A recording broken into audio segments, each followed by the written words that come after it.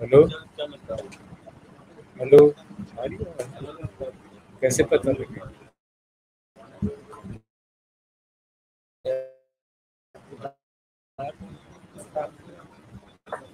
अच्छा।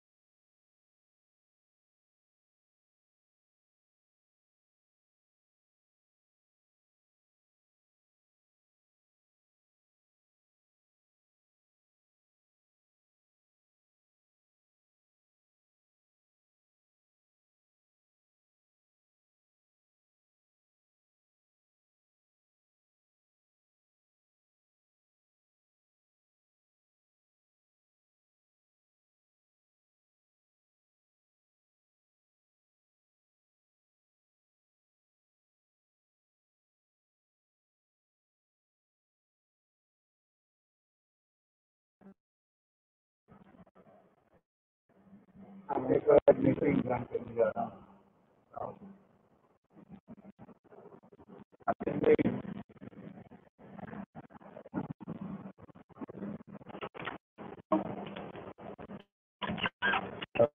आज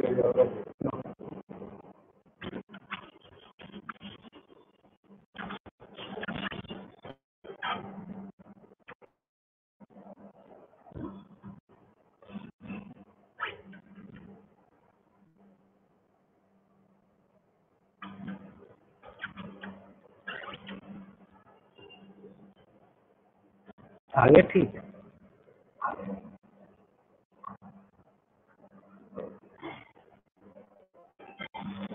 hello hello आ रही है आवाज़ माइक में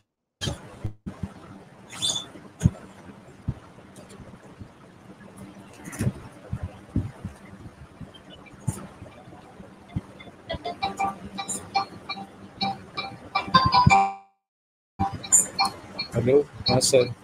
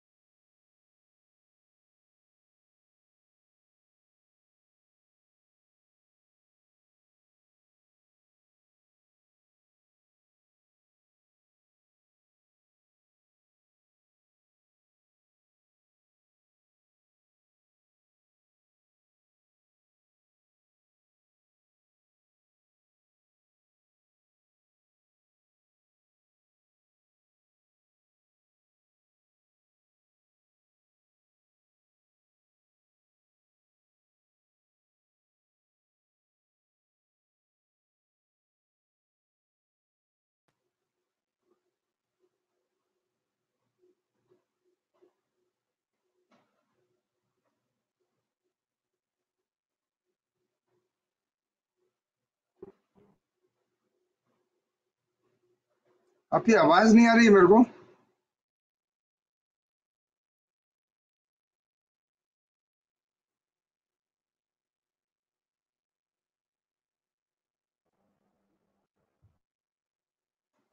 उपाध्याय जी आवाज़ नहीं आ रही है आपकी। अब आई। यार ये तो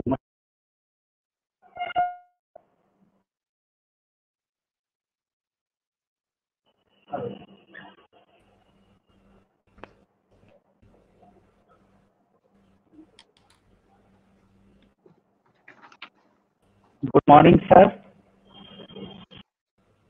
Good morning.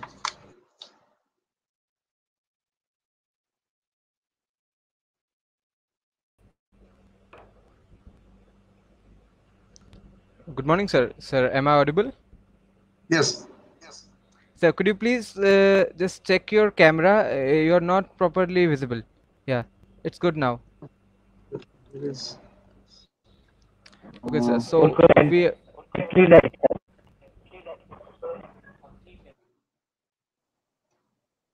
Okay. Uh, so, sir, we will.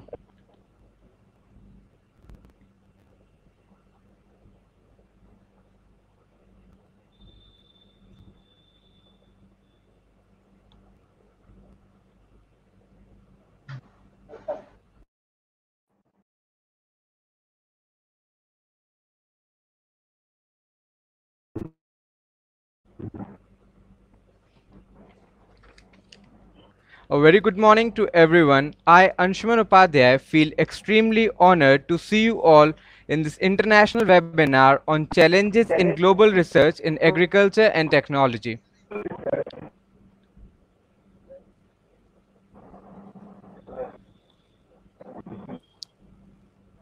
Sir आवाज आ रही है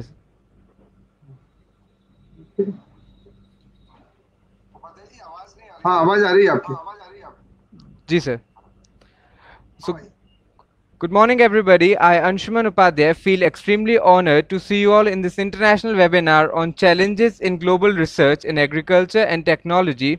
We have our honorable chief guest and keynote speaker for today, Professor R.C. Agrawal, sir, who is the National Director of NAHEP and DDG Education Agriculture, ICAR, New Delhi. I warmly welcome you, sir. We have our Honorable Principal of RBS College, Professor UN Singh, sir. Sir is the Principal of RBS College and former Head of the Department, Agriculture, Statistics and Mathematics, RBS College, Agra, and Campus in charge of Bichpuri Campus, Agra. I warmly welcome you, sir, as well.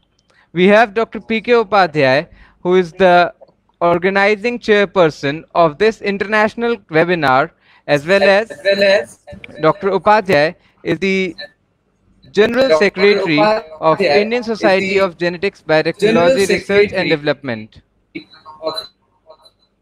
Indian Society of I would now request Honorable Principal of RBS College, Dr. UN Singh sir, to please deliver the welcome address to all our viewers. A very good morning to everyone.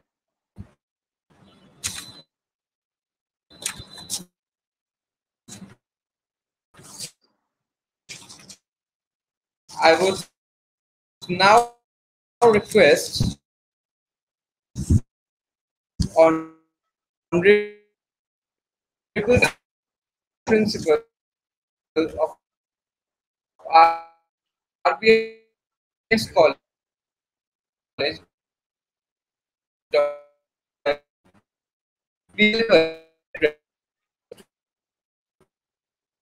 all our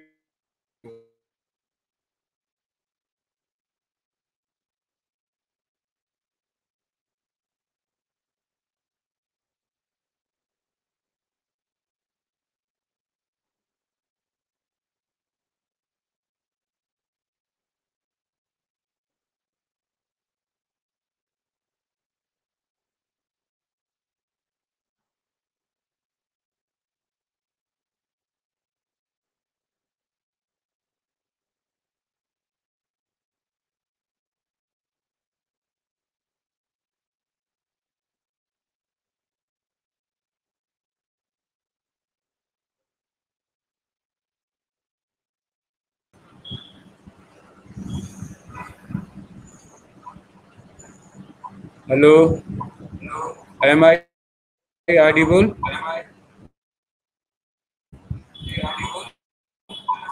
good morning to all viewers our honourable chief guest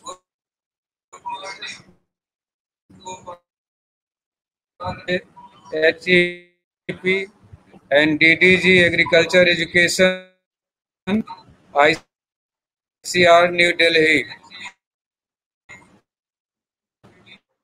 guest of honour professor K B Prabhu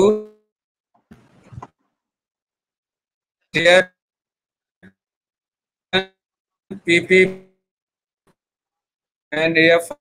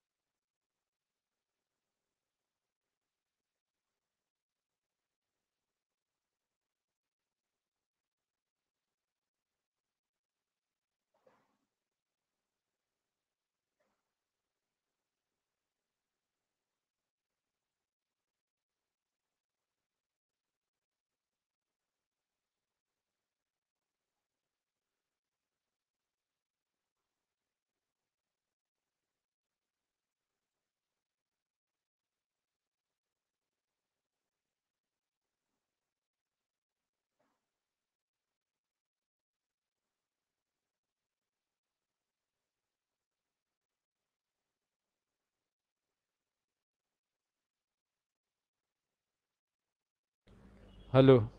Professor Richard Safri, sir from Australia. Professor Arthur Redeker, sir from France. Professor Rajendra Kumar, sir from New Delhi. And Dr. Ajay Singh, sir from NJALMA, Agra. It is my pleasure to see you all in the in this international webinar on challenges in global research in agriculture and technology. I, Dr. UN Singh, Principal RBS College Agra, and the webinar chairperson extend my warm welcome to all the invited guests, delegates who are joining us and yet to join us on this virtual platform. The plan of this webinar was executed in a very less span of time and the organizers have worked very hard day and night to make it execute in such a nice manner for its grand success. This webinar will continue for two days that is 30th, 30th and 40th July 2021 incepting from 10 am onwards to 2 pm on both the days respectively. It is also a privilege for RBS College Agra and ISGB RD to host you for these two days through this virtual mode. RBS College Agra, that is Raja Balwant Singh College, the epitome of education is one of the oldest educational institute which got established in 1885.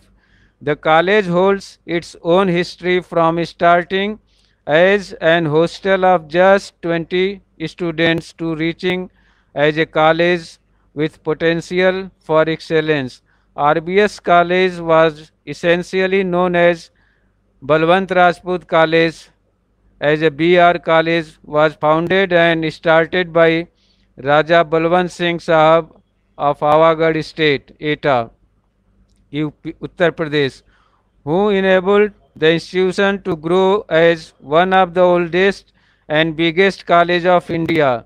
RBS College, formerly known as the BR College, came into existence from its first milestone, which was known as Rajput Boarding House for Education, which later upgraded as Balwant Rajput High School in 1934.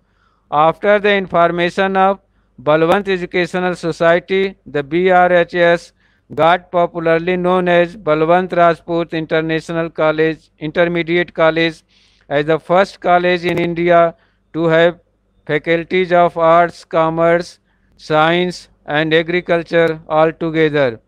This educating wing got raised to UG and PG level through affiliation from Dr. Bhimrao Ambedkar University, Agra and RBS Engineering Technical Campus and RBS Management Technical Campus from Dr. APJ Abdul Kalam Technical University, Lucknow. The college completed more than 80 years milestone and got A plus accreditation by NAAC in 2017. RBS College as of now has nine faculties that is of arts, commerce, science, agriculture, education, engineering, pharmacy, management, computer application and technology whereas the Indian Society of Genetics, Biotechnology Research and Development India, a world famed research society founded 16 years ago with the aim of working with scientists, professors, teachers and the students among the world. ISGBRD is a prestigious registered society of practicing agriculturists, geneticians, biotechnologists, molecular bio, biologists and plant breeders from government, public and private sectors with the students pursuing genetics, biotechnology and biosciences disciplines. Has vital role to play the fostering the progress of agriculture, genetics, biotechnology and biosciences in the world.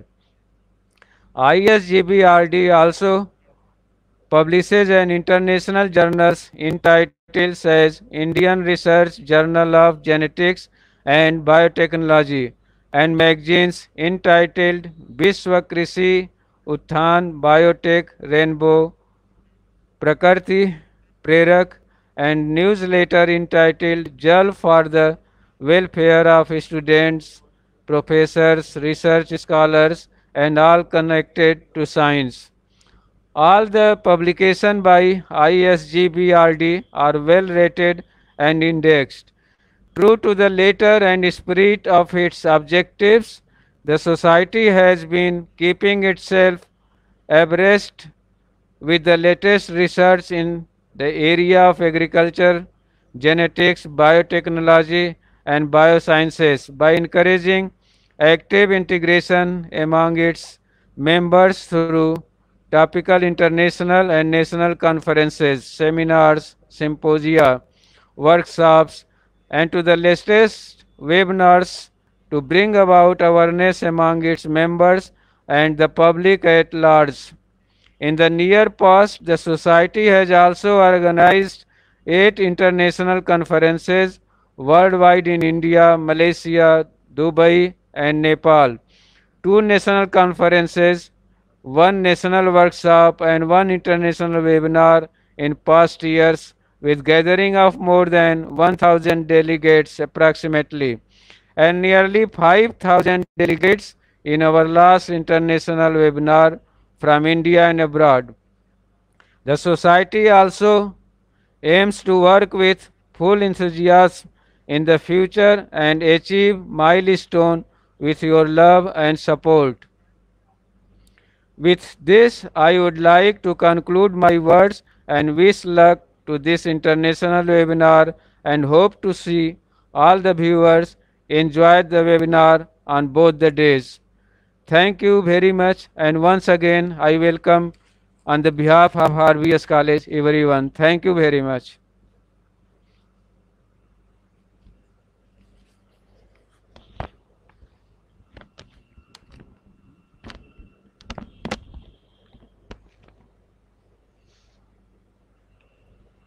Thank you very much, sir. I would like to give you all a glimpse for today's topic of the webinar, which is Challenges in Global Research in Agriculture and Technology. So makes us think about what all are the challenges in global research in the field of agriculture when we have got all modern practices and we are surrounded by technology from all over, I personally came across a challenge in this field and it is one of the major challenges in all other science and technology that it can lead to a substantial environmental effect. It causes pollution like the addition of toxins and other chemicals to the water and environment and due to these additions we are facing such pandemics like COVID-19 and also guess that these pandemics like COVID will be affecting in the near future as well as the substantiability of environment is hurting on the side and on the other side we are undergoing the adverse effect of technology using modern techniques in research works and here hit of several ill effects of environment are challenging us for the same Hence, this is a bit brief about the topic and all our invited guests will continue with it now. I would like to hand over the mic to our keynote speaker and honorable chief guest, Professor R.C. Agrawal, sir, to please continue with his talk and deliver the keynote address. Thank you, uh, Mr. Anshuman. And thanks to uh, Dr. Upendra Nath Singh and Dr. P.K. Upadhyay for uh, inviting me and for organizing such an important uh, webinar. Uh, I compliment uh, the Indian Society of Genetics, uh, Biotechnology Research and Development, ISGBRD also, for having thought and having organized this important webinar. So uh, I'm really uh, pleased that uh, the society is thinking in that direction and society is taking the lead for picking up the topics uh, of uh, importance, the topics of uh, key relevance uh, for the national priorities. So thank you very much. Uh, I would like to now share my uh, presentation. Uh,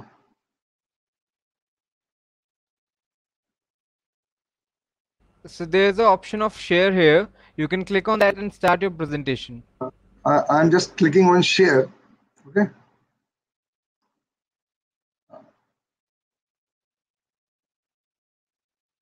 But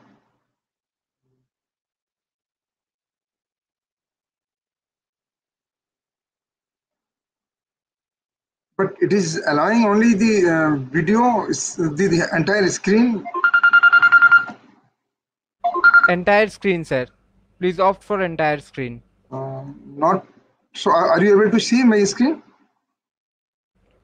Yes, sir. It will be shown when you uh, enter the entire screen. Uh, can you see now? No, sir. Not yet.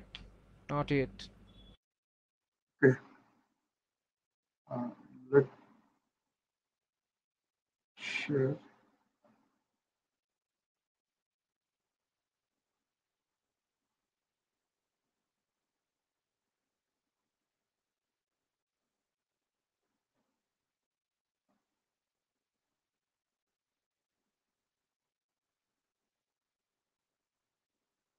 Can you see it now? No, sir. It's You can not see it? visible. No, sir. No, but it is showing you are uh, just confirm. No? No, sir. Not yet.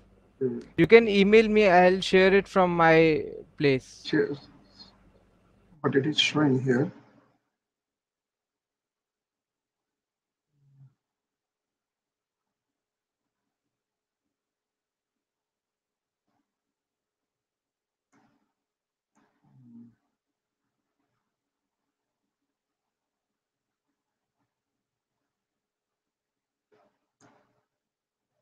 Can you see it now?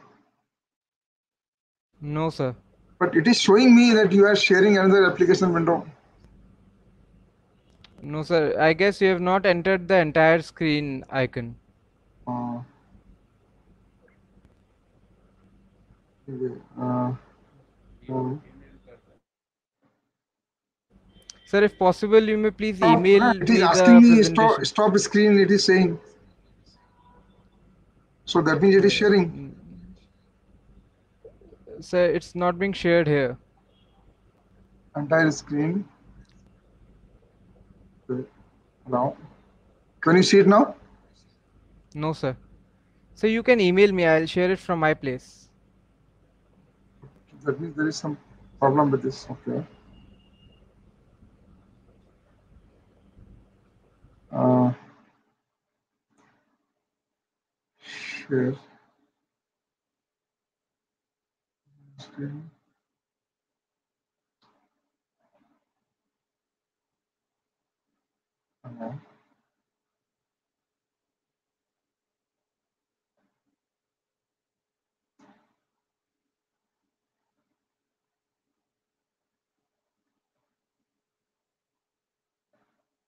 Still not visible? Yes, sir. Visible now. Land grant system of US. Yes. Now it's fine. So uh, thank you once again. Uh, friends, I'm going to speak about this importance of this agriculture Sir, now we are ready. Uh, land land grant system of the is for me. Hello. Can you Yes, sir. can you You see can my slide uh, first slide implementation strategies? Yes, sir. Yes, sir. Okay. So I'm going to speak about the importance of agriculture education and uh, what is uh, our implementation strategies for implementation of national education policy, which was declared during the year 2020. Uh, friends, uh, I am working presently as Deputy Director General Agriculture Education in Indian Council of Agricultural Research. I am directly responsible for uh, for the entire agriculture education in the country, and uh, especially uh, as you know, the ICAR has a lot of responsibilities for uh, implementation of this agriculture education, and for that only I am going to speak today. So, what are our challenges? What are our responsibilities? Uh, you, you see, uh, there is a difference between the traditional universities and the agricultural universities. And if you see the land, uh, the agricultural universities in India, they are developed. They have been uh, formulated based on the land grant system of the United States. And the key function of the land grant system is that you cannot just make teaching different. You have to integrate teaching with research and extension. And that was the key uh, point for this land grant pattern. And uh, it was started from the US. And based on that, uh, the first university which was established in India was the uh, GB Pant University uh, during the 1960s. And uh, based on that uh, idea only, the subsequent universities have been established in India. And that is what we have to understand. Sometimes people just say that let us ask all the agriculture universities to focus only on the teaching part. You cannot. You have to have uh, together the research and uh, the uh, extension also with this. Now, if you see uh, today in the pandemic, uh, sitting at home, uh, we had a lot of uh, a lot of uh, food crisis, uh, a lot of demand for the food, but there was no shortage of any any kind of food. We, we need not to import any kind of thing. How could it happen? This could happen because of our good agriculture education, because of the support of all the agriculture universities, because of the support of the ICAR, the research, uh, the strong research which we have developed, the strong uh, base for the plant varieties uh, which have been developed by our complete national agricultural research system, and the the research which has been done in other areas also, like animals, uh, animal science, veterinary science, horticulture, every field you can see, and you can see the figures how we have jumped from the 1950 just after independence to uh, 1780. Uh, you can see uh, the food grains have jumped from 50 million tons to 284 and now this year it is more than 300 uh, tons. Similarly, you can see the pulses, oil seeds, cotton, sugarcane, uh, horticulture, eggs, eggs, even 47 times uh, there is an increase in the eggs. Milk, there is an uh, uh, close to 10, 10 times increase in the milk production. So today we are the global best or second best producer of many crops. And we are uh, the lead uh, in the green, white, blue, and yellow revolutions. So we can see how this all could happen. This all could happen because of the agri strong agricultural education system in our country. And uh, you can see uh, the role of uh, education division of ICAR. Uh, we have uh, to have the Uh, can you just hold on?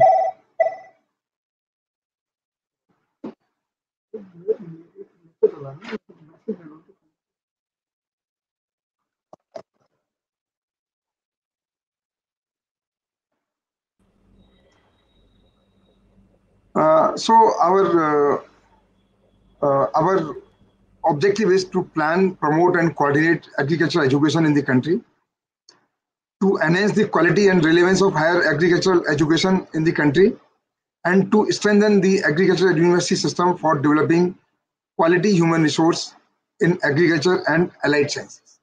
So that means we have to have these points uh, while coordinating the teaching, research, and extension programs in all the 74 universities in India. And if you see the landscape of uh, agriculture education, we have 63 agriculture universities, state agriculture universities rather. Uh, we have four deemed universities. We have three central agriculture universities, and we have four central universities with the agriculture faculty. So in total, we have around 74 uh, universities, which are providing the agriculture education to about uh, the, the intake is around 45,700 every year in UG, PG, and PhD and total there are about 2 lakh students in all the universities at any uh, given point of time. Uh, we at the education division uh, at ICAR, we do not uh, compromise with the uh, with the quality, and that is the reason why we have uh, linked the accreditation with the admissions. We have linked the accreditation with the release of the grants and for accreditation, we have a lot of quality parameters. Uh, we declared four-year UG programs as the professional degrees. Uh, we have uh, the dean's committees every 10 years, but now uh, recently we have again constituted a dean's committee for the implementation of this national education policy. We have the minimum standards for uh, higher agriculture education. Uh, we have we have to keep our faculty always uh, up to date in the advanced uh, topics for which we have established 40 advanced faculty training centers in India. And uh, we have introduced the Student Ready program, the Rural Entrepreneurship Awareness Development Yojana, for which every UG student has to go at least for six months for uh, this student ready program. So there are various components of student ready program. I'll just discuss details. But uh, the the point of concern is what is the point of concern? That many universities have been bifurcated into a unity uh, unity uh, uh, universities. Like I know in some states, one single university has been bifurcated into five universities. Uh, so uh, they have been uh, converted into veterinary universities, horticulture universities, fisheries universities, uh, and now the organic universities. So that is really a point of concern. And we have to have some control on these bifurcations because the very purpose of university gets diluted. And under the national education policy, this has been this has been highly uh, emphasize that we should not have the unity uh, unity education uh, system or unity universities uh, in this. And uh, if you see uh, the uh, the role of uh, our education division at ICAR, uh, we are responsible uh, for development of a model act, which is adopted uh, by all the states while formulating their state acts for establishment of any state agricultural university. And the latest one we developed during 2020, but now it has to be revised in, in view of the uh, NEP implementation. So I was talking about the student ready program. And if you see the student ready program, uh, it has uh, four components. Uh, the student projects, in-plant training, experience learning, RAWE, uh, and that really makes our students uh, ready for any entrepreneurship. They can be linked for any uh, projects. They can be uh, linked for uh, the in-plant training, and they can be uh, deputed to the villages. And we have around 480 experiential learning units on in the business mode. While uh, learning, they can also uh, do the earning also.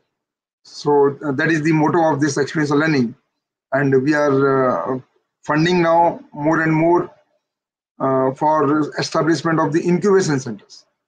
Uh, in this current EFC, uh, we have made it sure that now we will not fund for the uh, buildings, we will not fund for the infrastructure, but we will just emphasize for the establishment of the incubation centers, uh, so that we ensure that our students are job providers and not the job seekers.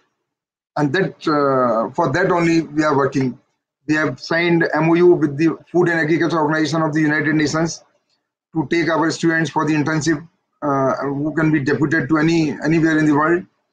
Then uh, we have uh, recently spoken to uh, international rice institute we have spoken to national seed corporation uh, we are uh, doing with many universities across the world. And now recently, uh, I spoke to the president of uh, uh, I, uh, this Association of Indian Universities, AIU, and uh, we want to have the visits of the students from the traditional universities to the agricultural universities, so that there can be a cross learning between both. So they can also take up the agriculture uh, projects. They can also uh, make innovative ideas uh, for engineering, for biotech, for any any science in the uh, agricultural universities, uh, from the IITs, from the from the other uh, well-established traditional universities. So that we are going to start. So ultimately, under the student ready program, we are providing a rural entrepreneurship and the practical experience and that is really helping. There are a lot of success stories for this. And uh, under uh, this student ready program, we have uh, the objectives for achieving uh, this entrepreneurship, problem solving, self-employment, rural exposure, skill development, and so on and so forth. It's a very, uh, it's a flexible program, I can say. And now the uh, I'm happy to share with all of you that we are attracting talent to the agriculture education. Now, many students are coming by choice to the agriculture, not uh, by rejection. So that means uh, they prefer to go for the agriculture and they prepare for the agriculture examination and then they try that they should get some good esteem in the agriculture education. You can see the figures from 16, 17 to now. Uh, in uh, in UG programs, there is an increase of around 58% applicants. Uh, PG programs, there is an increase of uh, 12, 13% uh, increase. And in PhD, there is an increase of around 200%. And uh, that, uh, that is really helping us. assessment of faculty performance effectiveness also recently we got it examined and you can see how our universities are really performing through this H index score, you can see the top 10 uh, AUs. So uh, some of the institutes, uh, some of the universities, they have even more than uh, 90 um, uh, this H index. Uh, so IARI it is 125, MPUAT 93, CCS uh, HAUSR 82. Like that you can see the figures. And similarly, we got examined the top 10 agriculture universities with the highest internal revenue generation. Uh, now, uh, I'm happy to share with you that there are universities like Tamil Nadu Agriculture University, which have a revenue generation of around 125 crores. And uh, all these top 10 universities which I have shown, they are the universities which have uh, their revenue more than 40 crores. And that's what now we are promoting. That why uh, the universities, agriculture universities cannot become self-dependent, self-reliant. So let them generate their own revenue so that uh, they have more transparency, more efficiency in their uh, academic uh, activities. And uh, that's what uh, we, we could collect and we are uh, saying with proud that our universities are coming forward for this revenue generation. similarly, if you see the distribution landscape of students, you can see the student strength at the agriculture universities under this state agriculture universities, CAU or deemed universities, that how the different uh, kind of uh, categories like UG, PG, and PhD they are distributed. Uh, the institutional uh, now, if you see uh, the uh, the national education policy, which was announced last year, I am the member secretary for making the draft roadmap, and already we have developed the roadmap, and I have presented before Honorable Agriculture Minister, and very soon it is going to be out. Uh, under that, we have uh, proposed many things, and the first and foremost thing which we have presented uh, there is that we should now stop fragmentation of the universities. So that means no more university dealing with the uh, with the horticulture, no more university dealing with the uh, dealing with the say fisheries. So you can uh, have addition of the colleges, and that's what now we are providing. we are trying to propagate. And similarly, we have, uh, as you know, we have four deemed universities, IARI, IVRI, NDRI, and CIFE Mumbai. So they are in different domains, fisheries, uh, dairy, uh, veterinary, agriculture. And now we are trying to make them multidisciplinary uh, and research intensive. Because one of the category under the national education policy is uh, the research intensive university and for that we are trying to have more and more disciplines being added in these uh, deemed universities. Uh, you also know that uh, the deemed word uh, will go now. There will not be any deemed university. All the universities will have the name only the universities, no deemed universities. So that also we are uh, planning how best we can do all those things. UG uh, programs, we are trying to make uh, many changes in the UG programs. And uh, this multiple exit and multiple uh, entry system, already we have constituted a committee to just suggest us how we can have this one year certificate course, two year diploma, how if, if a person exits after one year, uh, how we can adjust the uh, entrepreneurship, the student ready program, and many more things we can add into this. And similarly for master's program, we are making uh, many changes and uh, we are allowing uh, the students uh, for the teaching assistantship. So the students can take the teaching assistantship.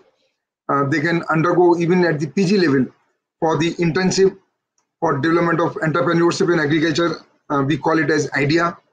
and one of the guide in the advisory board uh, can be from the industry side also, so that we take uh, the uh, the real-time problems for the research.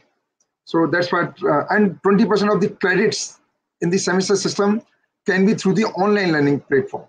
And for that, we are we are going to have a lot of e, e resources now.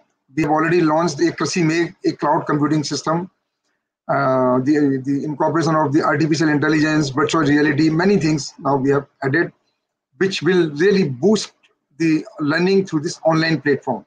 And especially uh, uh, during the time of pandemic, this can be a boon for uh, all this. Uh, recent development is also that we formulated a committee uh, of BSMA, the Broad Subject Matter Area Committee, uh, for the uh, for total revamp of MSc and PhD course curriculum and the guidelines, the less uh, coursework, and many changes we have made based on the practices being followed across the globe, and that's what now we are trying to incorporate in this. Uh, so those BSMA recommendations also have been now uh, now adopted, and from the next academic year, uh, we will have its implementation in all the universities. similarly, for online and digital education, we have uh, incorporated in many universities under the World Bank project, which also I am heading uh, for virtual reality, artificial intelligence, and many things. And now we are also trying to have more and more courses for Swayam Diksha, uh, Swayam Prabha platforms in, uh, in the fields related to the agriculture. Because presently you see all in all these platforms you don't have many course contents related to the agriculture. So that's why now we are planning. And uh, we also have a massive drive uh, for conversion of all the courses of uh, pg and phd and ug uh, in the e-contents mode we have uh, funded uh, many universities we have hired many persons who are developing these courses and to develop the multimedia contents, we have had uh, a firm. You know, E&Y is working on the contents creation for this. And similarly, uh, we recently launched the virtual classroom and Agri Diksha platform. Uh, the Agri Diksha platform is uh, very important where any lecturer can record his lecture and immediately through this platform it can be released and the contents can be modified, multimedia can be added into this. So it's a very good facility. We got it inaugurated uh, through our uh, agriculture minister. And uh, uh in addition to this, a lot of other things we have incorporated for this uh, e-learning. And for internalization, we are making a boost for internalization. We are asking all universities to have a separate office, international office uh, where the queries of the international students can be uh, can be answered at any point of time, uh, so that we attract the students from all the countries to India, and for that uh, we are going to develop the guidelines. Uh, what are the uh, what are the areas in which we are lacking the international standards, so that we come under the QS ranking and to begin with we have taken a case of IARI to convert into the global university. They require a fund of around 2,000 crores, which we are trying to uh, make them available, uh, so that ultimately we can say with proud that we are the Vishwaguru. India is the Vishwaguru in the world. Uh, we have uh, taken some uh, timelines, like during this current year, 21 22 we will have this multiple exit entry system. Uh, we are now relaxing the requirement of the residential uh, requirement uh, which was must for all the UG, PG, PhD programs and universities but now they can stay outside the hostels also because we have to increase the gross enrollment ratio and for that we have asked the universities to increase at least 10% seats starting from uh, this year uh, so that uh, more students can be accommodated. we are asking universities to adopt the common entrance exam of ICAR for admissions in all the state agricultural universities. So that also uh, we are trying to develop. We have asked the universities to develop their institutional development plans. Uh, and uh, using this IDP, they can really identify their core strength and can uh, ask for the funding from the Ministry of Education uh, in that core area of uh, their competence so that that university can be identified that okay for this particular area this university is the is the key player and uh, the deans committee already as i told you we have uh, we have already uh, notified. And very soon we are going to work on this. The agriculture universities have to organically evolve into multidisciplinary institutions, not by force. So that's also now uh, we have made the guidelines how they will uh, evolve into this, and uh, the vocational education also we are uh, trying to incorporate in all the universities so that uh, more and more entrepreneurs can be uh, developed through our uh, education system. Um, as I told you, we are having a lot of revenue being generated uh, through these agriculture universities. So we are uh, saying that by 2035, they all should become the independent and self-governing institutions uh, without asking any money from the government for uh, their smooth running. The board of governors have to be established by 2035, and our aim is that all agricultural education institutes should uh, should aim to become multidisciplinary institutions by 2040. So that means no university will be called as agriculture university, no university will be called as horticulture university. All the universities will be general universities and they will have every kind of discipline in their universities. If it is not available, then they can go for uh, academic bank of credit, uh, ABC, and uh, through that also they can uh, any student can learn from any other university and can really get that incorporated into his transcript and uh, can learn whatever he wants. There will not be any term like uh, extracurricular activities. Everything will be part of your curriculum. If I am a student of genetics plant breeding, I can opt additional subjects uh, of say uh, sports. I can have painting, I can have music, anything I can have, and that also will be reflected in my uh, transcript. Uh, recently, uh, I have issued a circular to all the universities that even NCC uh, can be made, and we have circulated the detailed course curriculum for the NCC also in all the universities as part of this uh, national education policy, and uh, it can be a, a elective subject so a lot of changes now we are uh, trying to make with this system. And for IT system, we have made a very uh, strong base now. We have uh, everything online.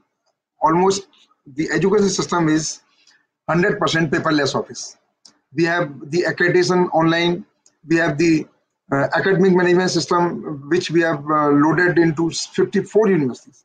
And our plan is uh, that very soon we will implement in all the universities we have uh, the Kritagya portal, a hackathon which we uh, do regularly. Uh, we have uh, the ranking system also uh, through this online system. We have alumni network. All the universities have a common platform where the alumni can be registered. So that is again a very important system. Uh, and recently we have launched the system of uh, experts. Uh, so if you want to uh, know about any expert, you want to search that you want to have uh, expert for this particular subject, for YYOC, for or any committee, you can just log into this system and you can know that who are the experts available in that particular subjects. And similarly, we have the project information management system, virtual classrooms, and one of the very good infrastructure which we could develop is the Krishi Megh, uh, the cloud computing system, and it is a data recovery center uh, also, uh, where we have incorporated a lot of things related to the AI, GI, uh, AI, virtual reality, and uh, other kind of things. So uh, that was in brief. I wanted to just tell you um, we can be reached our portal uh, education.icar.gov.in um, but uh, you can also link through this uh, www.icar.gov.in and thank you very much for your patience uh, hearing and for giving me this opportunity. Thank you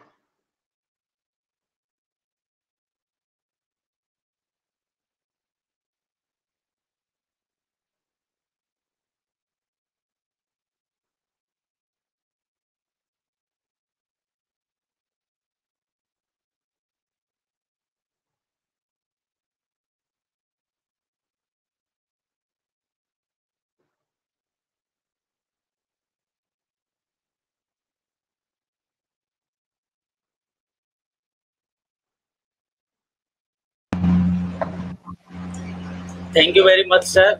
very wonderful and great uh, conversation and uh, lot of thanks, sir.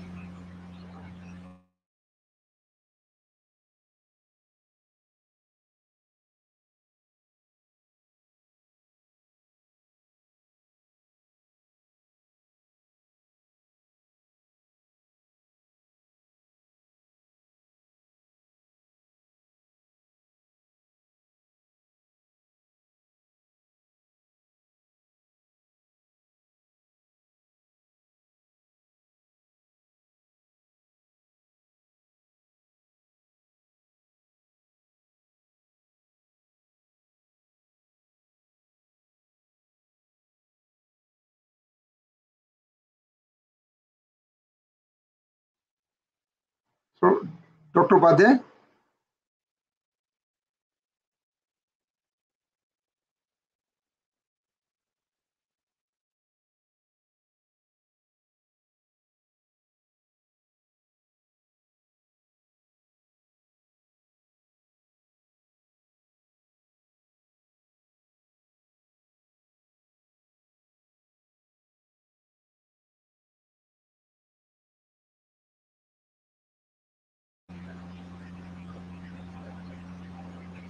Is it done, sir?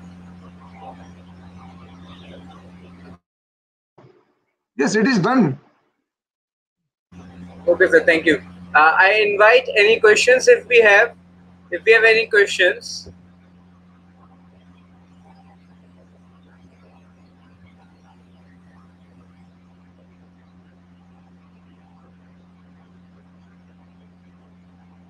If we have any questions, uh, they are invited.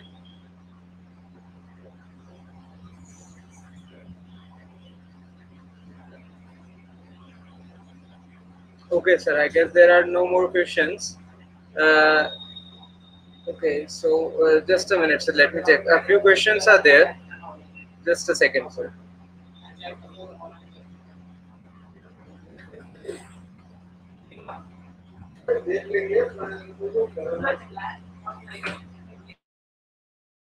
Please give me a minute, sir. Uh, a few questions are hitting us. I'll just check and let you know the questions.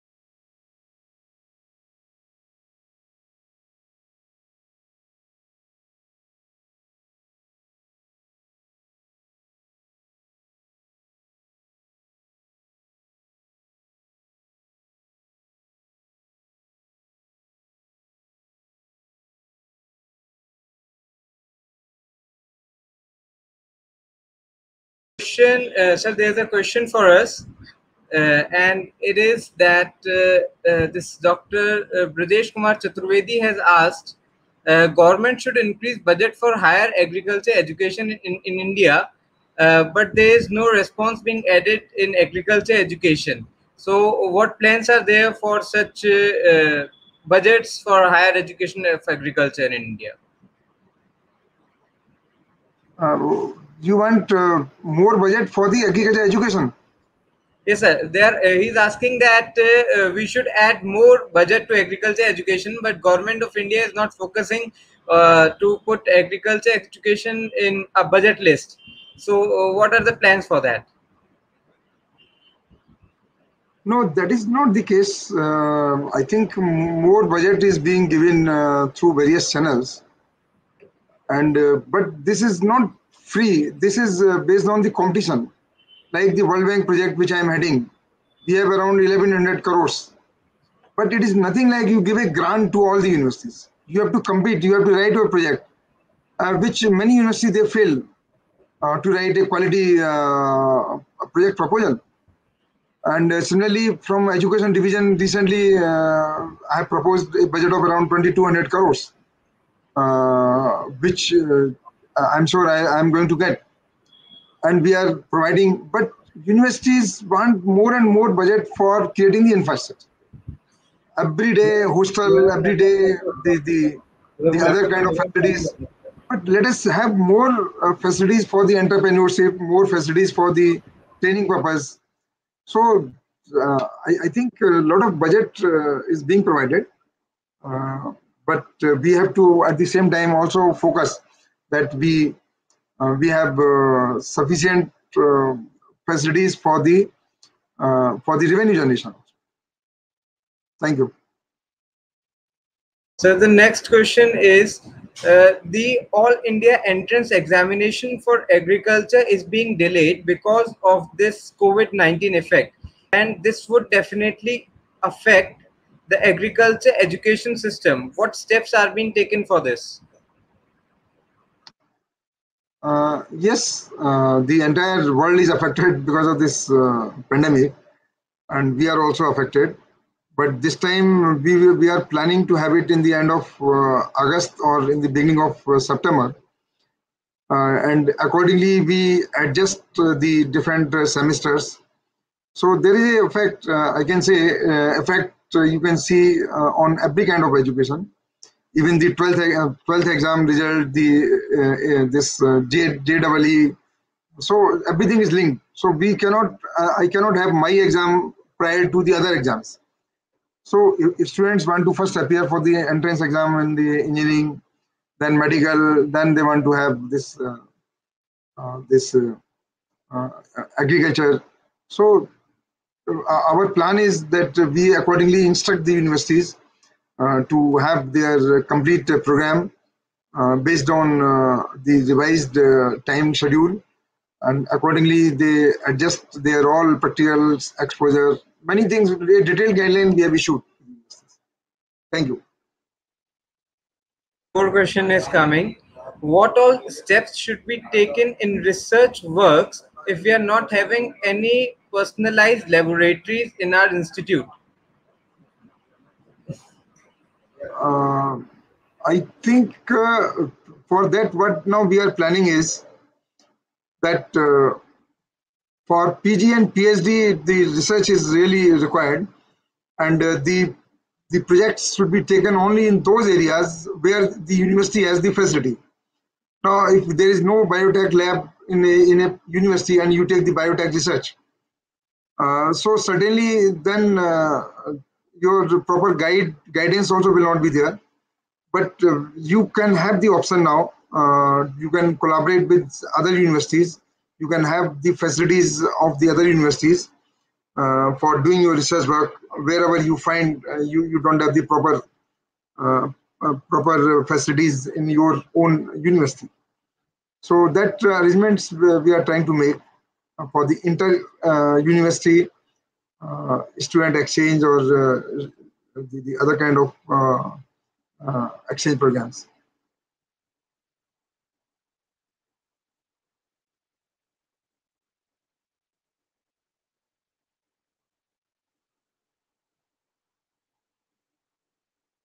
Any other question?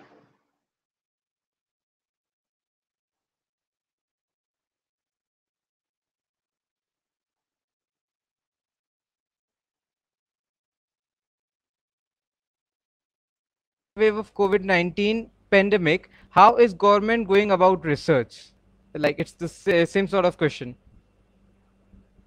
yeah as i told you uh, in the pandemic we made detailed guidelines like uh, the students uh, were allowed uh, to reach to the nearest KVK for doing their research work.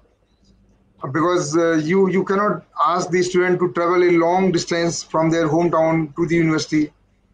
So we instructed all the KVKs, they should provide all kind of support uh, to the students if they are visiting their KVKs and uh, certainly it is it is, you cannot have the same kind of output you cannot have the same kind of quality which is available in the normal time but it was a stopgap arrangement and it was a arrangement uh, so that the students uh, academic year is not uh, uh, compromised.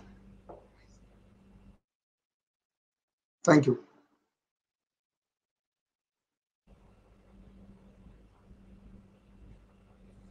Yes, sir. One more question is with us. Uh, why ICAR accreditation of colleges are important to join ICAR college through JRF and SRF test while we are giving them? Yeah, I was expecting this question. So very important question. Uh, in fact, first thing, let me make it clear that we are controlling through ICAR exam only the 15% of the seats in the UG and 25% seats in the uh, PG and PhD. The rest of these seats are not governed by this accreditation, are not governed by the ICAR rules. That is the first thing you have to understand. Second thing we have to understand is that we are doing this particular thing to stop the inbreeding. If we do not have our quota in the universities, then all the 100% students will be have, uh, will be admitted only from the same state. Now, uh, that will not really help the universities. You cannot have the students cannot have the cross uh, cultural learning. They cannot have uh, the mix up with the other students from other states, many kind of things. So for having this 15% and 25% in UG, PG, PhD, uh, we have to have some kind of quality control. And for that quality control, we have to see that the basic facilities are available in the universities. Like if, if I suppose uh, we just uh, remove this accreditation. Now I can tell you there are universities which do not have even 25% of the staff positions filled up. They don't have. And if I ask the best student that, okay, you go and take admission in this university, I, I cannot uh, guide any student to go. So they, they are not filling the position. They don't have the proper laboratories. I admit a student, say, for biotech in a university which doesn't have the bio, they have the faculty for biotech, but they don't have the uh, uh, biotech uh, laboratory. Now, can I uh, ask a student that you uh, ta- take admission in this and do the world-class research in this university? So we say, no, you have to be first accredited. Accreditation means you have to have certain minimum standards which are required. I can tell you there are many universities, uh, private universities, which do not have the land. Uh, so we, we do not provide the accreditation. And then they say they will do the agronomy, they will do uh, this uh, uh, seed production, they will do uh, other kind of things. Can you do seed production in the building? You cannot do. So minimum, and they have the land which is 100 kilometers away. Daily, can you travel 100 kilometers uh, from the classroom to go to the field? You cannot. So there are many minimum standards which are required. Now, because of this pressure, universities are coming, they are fighting with the state government, they are filling their positions, they are acquiring the land, they are uh, establishing the laboratories, they are having the minimum requirements which have to be there for this. We, we are having a lot of pressure from the veterinary universities. We should remove this. Now, I know many veterinary universities which do not have the basic facilities. So we, we should not compromise uh, with the quality and then say with proud that I am a agriculture product product uh, having no knowledge because there was no facility available in my university. So, but uh, you are always free to compete for non-accredited universities. We don't have any control. We, we have this accreditation requirement only for these, our quota 15% and 25%. Yes, sir. Uh, one more question is being added to this question only.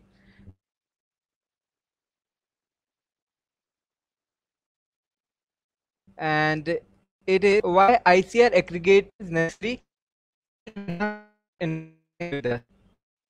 No, can you repeat? I, I could not get.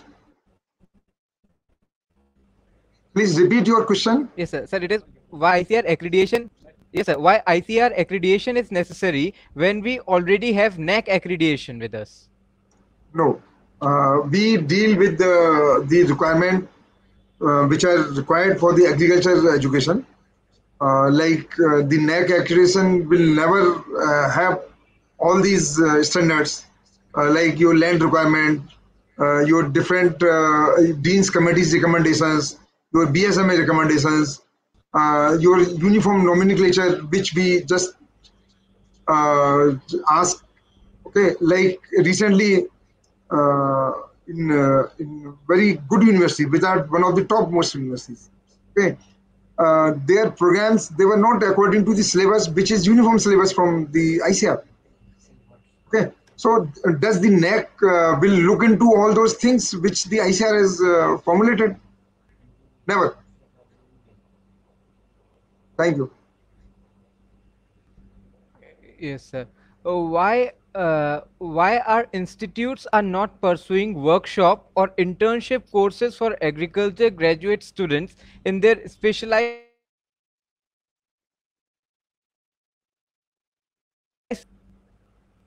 No, no, your voice is not clear. It, it is breaking. Yes, sir. So I'll repeat the question. Why our institute are not pursuing workshops or internship courses for agriculture graduates in their special subjects while they are in UG programs? No, uh, as far as I know, our agriculture university they are conducting uh, uh, such intensive programs, and now we are even making guidelines that students can be exchanged between the universities for this internship. And personally, I am looking into this uh, for uh, internship uh, in various industries, like I told you, National Seed Corporation, the the um, pesticide industry, the fertilizer industry, and many such industry. We are just looking into that how our students, our students are going to Amul, our students are going to Parle-G, our students are going to many industries uh, for internship. Uh, and universities also have been asked that they, they should conduct this internship program and they should do this uh, student action programs. Thank you. Yes, sir. Uh, here one more question. Sir, please suggest what are the scopes in genetics and plant breeding in future if we have done our masters in this specialized subject? Um, I think uh, the the scope depends upon the interest of the student. If the student want uh, to become an entrepreneur, uh, I think that is the best option. You can go for your own seed production. You can go for um, uh, your own complete independent entrepreneur. But you can go for the research. You can go for uh, the, the the other uh, government departments. You can go for higher studies for uh, to the foreign. Uh, genetics breeding is wonderful subject, and uh, it is the base basic subject. I think the students can be accommodated in biotech, can be accommodated in other sciences, and they have the basic knowledge. Uh, so uh, it is up to the student that where he wants, but all avenues are open.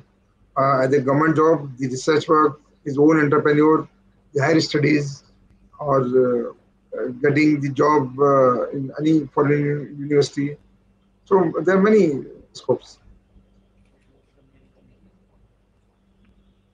Yes, sir. One more uh, message is there. KVK scientists and assistant professors are not equivalent in several universities due to difference in grade pay that is 5400 and 6000 is there any alternative of this and why is it being so Uh, no, that is not my area of domain because I cannot comment on this. Maybe our Deputy Director General Extension can comment on this. So I'm sorry for this. uh, sir uh, government colleges are not accredited to icar why No, no, no. That is totally incorrect. Any we even uh, provide accreditation uh, to uh, private to government. There are many government colleges which are accredited. Who says that it is they are not accredited? They have to apply, and they have to have those minimum facilities which are required as per our norms. So we provide accreditation uh, without any difference uh, uh, differentiation. Uh, so one more question is with us. Uh, is library strengthening fund for aided non-ICAR accredited but NAAC accreditation colleges? I didn't get the question well. Uh, no, I, I get this question. No, we will not, because there is a cabinet decision uh, by the government of India that if a university or a program is non-accredited, we will not provide any any kind of support, whether it's a library strengthening or any any other kind of infrastructure creation. So our funding can be only for the accredited universities. Okay, sir. Sir, uh, there is one question from there is one question from sir. I am doing my masters in horticulture pomology at Dr. RPCAU. Sir, I want to know about the career prospectus and job opportunities in abroad. Okay. No, you can uh, always uh, go abroad. There is there, there are certain exams which you have to qualify, and uh, for career prospects, uh, I think you can uh, write uh, the ARS exam. You can write uh, the other bank exams. Uh, you can uh, write the civil services. So there are many things. It depends upon your interest uh, and your competence.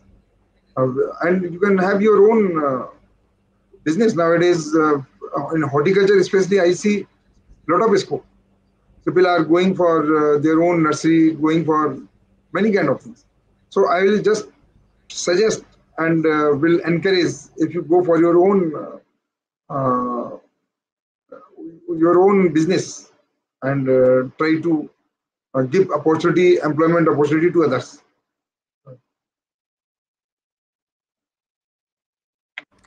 Uh, which grants are there in ICAR for strengthening aided agri multi faculty colleges? Could not get it for strengthening aided agri multi faculty colleges.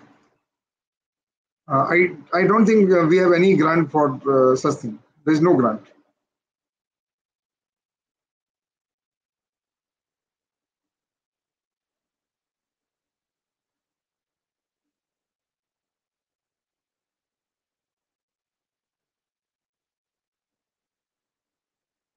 No, this question is not clear at all.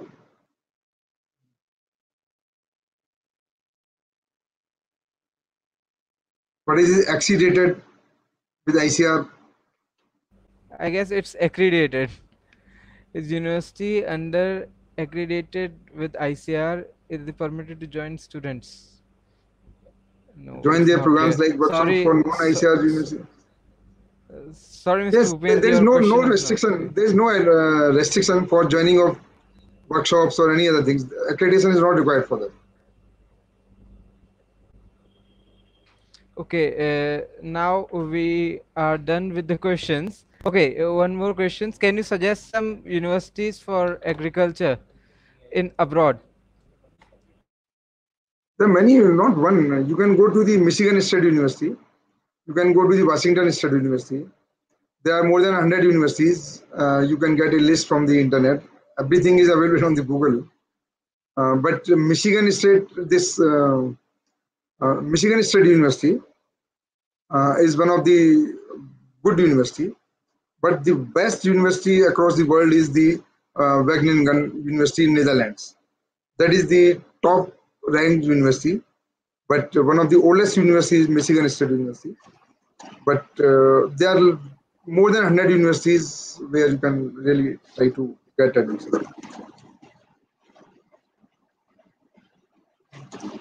Dr. Prabhu namaskar. Uh, uh, we have our honorable uh, chief guest and uh, special, a very special person for me as well, uh, Professor KV Prabhu sir. Sir is the chairperson of PPV and FRA, Government of India, in New Delhi. We warmly welcome you, sir. Uh, Thank sir, you. I am extremely happy to see you. It got very difficult to contact you as you were a bit busy, and uh, I'm sorry we could not have informed you earlier, uh, as we sent you a mail, but we were unable to connect you. Uh, sir, I would request you to please speak a few words to our audience. They are eager to hear you. I, I should know the background a little bit. Uh, if you introduce a little bit about the purpose and uh, who are the audience. Uh, sorry, sir, uh, you're not audible. Sir, I'm not audible. No, I'm not muted. Not audible at all? You are now audible. You are audible now. You are audible now. Okay. No, I, I would like to know uh, the background a little bit and who is the audience. Uh, accordingly, Sir- one can speak. Sir, we have students, professors, and uh, research scholars, PhD scholars from all over India. And the topic for today's webinar is Challenges in Global Research in Agriculture and Technology. Hmm. Uh, we have uh, our Honorable Principal of RBS College, uh, Professor UN Singh sir. We have DDG Education, Professor RC Agrawal sir with us, and all audience have joined us on YouTube. Yeah, thank you. Dr. PK Upadhyay sir is also with us. Yeah, I can see. Thank you. Uh, now we have DDG Education sitting there, and uh, he should have uh, really given you the whole picture of what national uh, agriculture research scenario from the academic point of view and the challenges therein. He would have clearly mentioned. Uh, I hope you have done that, Rakesh, or you are still to address. I, I Have you- made my presentation uh, Okay. about one hour, one hour already, Oh, okay, okay, okay, good. so, and uh, answered more more than 30 questions of his students. Okay. So I could respond to their questions also. Okay, very nice. Then let me uh, take this opportunity uh, on the topic point. Uh, friends, uh, it's a great uh, point to know that uh, you, we have people uh, who are from the students uh, community, researchers community, and also possibly some faculty who are dealing with agriculture per se. In India, I must tell you, the challenge itself is in accepting agriculture as a high order, high priority research area in the country. Unlike the seeming ground value it has, which does not make feel uh, make you feel that you're working in high tech uh, system or a sophisticated research system uh, of uh, all enclosures and air conditioning uh, uh, systems and the, the say the cleanliness and compactness of a laboratory and things of this kind are not necessarily the part of agriculture research scenario in general. Other than people who are working in uh, some molecular biology area or uh, plant genetics area or cytogenetics area uh, or microbiology area. To an extent, plant pathology area who are dealing with the pathogen per se in research on that. Other than that, every other field is definitely more high tech than any of these high sounding uh, environmental systems are concerned, but will be not as good looking uh, or as uh, well organized laboratory systems like you have it in these fields. So that's one acknowledgement you should have to accept that you may not be viewed at as a great scientist if you're not working in any of those laboratory setup with a apron on or a, a say overall on or a glove set and a mask on uh, your face etc uh, not the pandemic related mask but for uh, uh, safety as hazard free mask which we use in molecular biology uh, on and off so it is even if you're not wearing them you will be doing very high tech research when you're dealing with soil when you're dealing with environment when you're dealing with host pathogen interaction with the host expression phenotyping. Phenotyping is the major point whether it is related to crops or uh, uh, tree plants or even microbial interaction on host systems. These are all high tech research areas. So uh, the challenge itself is why, why i said is to acknowledge that you are in as high tech as somebody working on the latest cloud engineering based uh, uh, interaction system development or data uh, high uh, say uh, uh, data analysis systems of large data analysis big data analysis or things like this or in- internet of things related work which you may be working on or even working for a development of new uh, antibody based uh, vaccine vaccine development system which is popular in public parlance today and therefore the one who is working on that area is high priority researcher. So this ground basing of agriculture as a field has to be accepted uh, because in, in a society uh, unfortunately when you say in india when you say that uh, you're working in agriculture uh, if uh, there there's a community with uh, lots of doctors a lot of engineers and software people around here around there in that group uh, they may not look at you twice first it takes time to realize that all of them are standing up and all of them are able to think of newer things only because their bellies are full. And the belly is full is happening because of high order agriculture research. Minus that, there would have been nothing of this kind. And there is no other field as comparable, including IT sector, let me tell you friends, where agricultural researchers have rubbed shoulder to shoulder to any global agriculture research system. Okay, that's the reason, despite the uh, extraordinarily environmental cosmopolitanism in Indian agriculture in terms of the variation, which is subtemperate to subtropical to extra tropical to terrestrial, which we have in India, all in one go. Meaning thereby, if it is flooding in one region, as we are now seeing, there is total drought in another region at the same time on the same crop.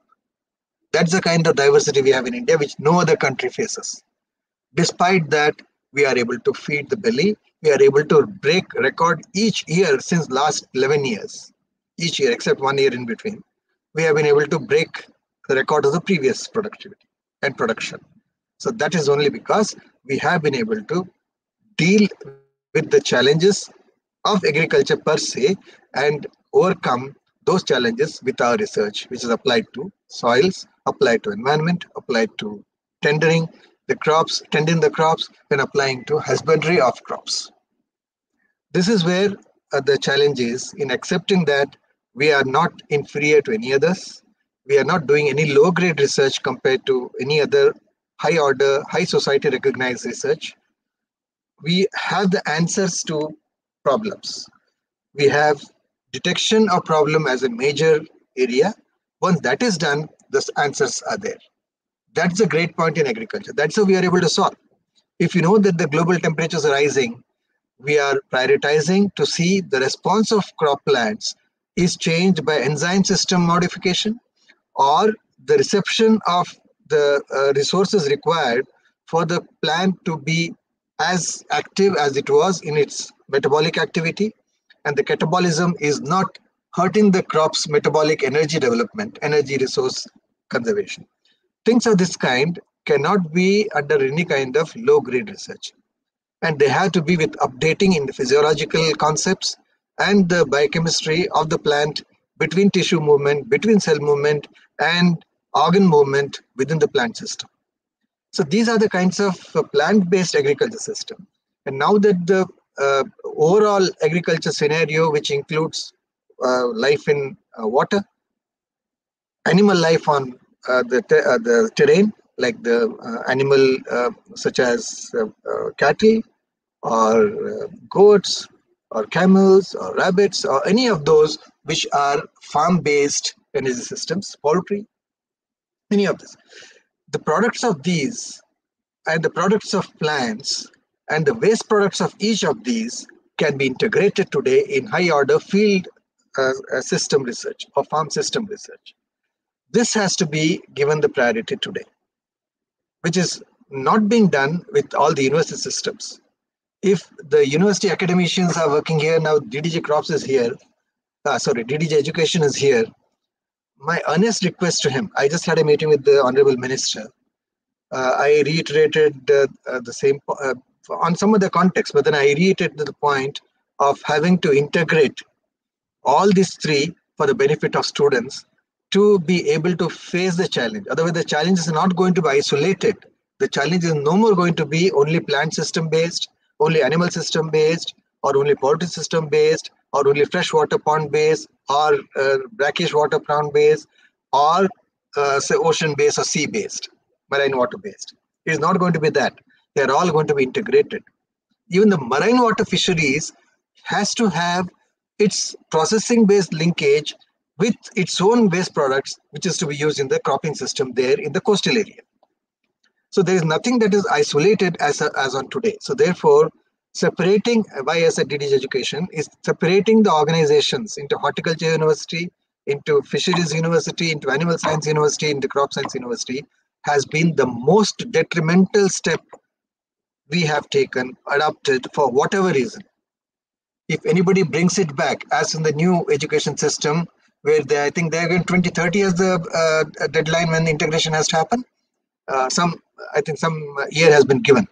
If we can do it earlier than that, the better it is, because the faculty which is now in working in uh, capsules of their own arena are going to be losing their touch to connect to the ramifications of their outputs into inputs as into other capsules or vice versa. They are not connected at all at this moment. So take another 10 years which is what the 2030 is 2030 the border rakesh? When we have to integrate Yes, and uh, that is the key point which we are suggesting, which we have uh, now uh, informed the chief secretaries that uh, no more further bifurcations of the existing universities, and rather there should be uh, uh, there should be unification of the Yes. universities. So th- that's what I'm saying. Don't wait for the 10 years because the faculty will not be there. See, it, it, universities cannot merge by physical merging of the, fa- uh, say, buildings. It is the people who are to join. And if the people are separated and the students who are going to join as assistant professors or uh, scientists, researchers in 10 years to come, if they have no exposure during their training into the in- integration, they will not be able to make the best uh, out of the integration that now they will be allowed to after 10 years. So therefore, uh, from education system, you have to start the joint courses and make essential credits to be taken from these parallel disciplines uh, in all one go now. In BSc AG, for example, or BSc Horticulture, BSc Fisheries, and BSc Animal Husbandry, or BVSc for that matter, please connect them with minimum credit system with the other existing university till the merging happens.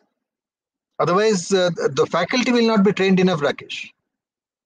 They, they cannot uh, uh, see, be made to sit on a plank with no training for that. It is just like uh, making you sit on a driver's seat without you understanding which is clutch, which is brake, and what is going to be the pedal for acceleration. So it's not going to work. So that has to be seen. And that can be seen now. Well, you don't need any other legal system to facilitate the physical infrastructure merging. Let the, let the merging happen when it has to happen. But the existing systems have to have at least academia uh, to be playing their roles together by having mutually shared minor credits or whatever be the minimum credits be there essentially. Like when we studied BSc agriculture, animal husbandry, poultry, uh, uh, animal diseases were essential uh, parts in our BSc agriculture scenario and engineering. Okay, it was the essential part. Now that the universities are separated, departments are not there in those universities. Even in IARI, we had a fantastic uh, uh, dairy and poultry here that had to move to NDRI and uh, other places once this uh, bifurcation happened. So this is not going to be uh, productive uh, in terms of enabling this great challenge agriculture uh, poses because agriculture is not going to be isolated challenge, obviously. In order to make uh, agriculture a livelihood, not just for subsistence and sustenance, but for profiteering business, which is what the mode has to be. Otherwise, youth will not be attracted. So, therefore, to connect all these essential features, the first thing and the only thing that can work is integrating in your BSc curriculum, undergraduate curriculum, these parallel disciplines as essential. How you do it? As a DD education, I'm sorry to be addressing you directly, but you are the key person. And ICAR is the key organization. There is the most important key organization to do it on a legal ground because higher education and professional education is in its under its umbrella. So you being part of that system, please see that we make it essential between these separated bifurcated universities for course curriculum at undergraduate level, let the courses have minimum credits to be shared among so that the connectivity will be there. And that is how the challenge can be understood. I said answers are there, but problems have to be understood. To understand the problems, which is the greatest challenge, you have to have this comprehension of this multiple uh, variation that is happening. So do that, the great achievement. I, I told Honorable Minister the same thing. Anyone who does this will have planned for safe future India for the next 100 years to go with the same population buildup. with or without population policy, we will be able to meet the requirement. Otherwise, whatever you do, environmental pressures of changing climate are going to put a threshold limit beyond which these bifurcated systems cannot contribute to solve the problems of the farmers.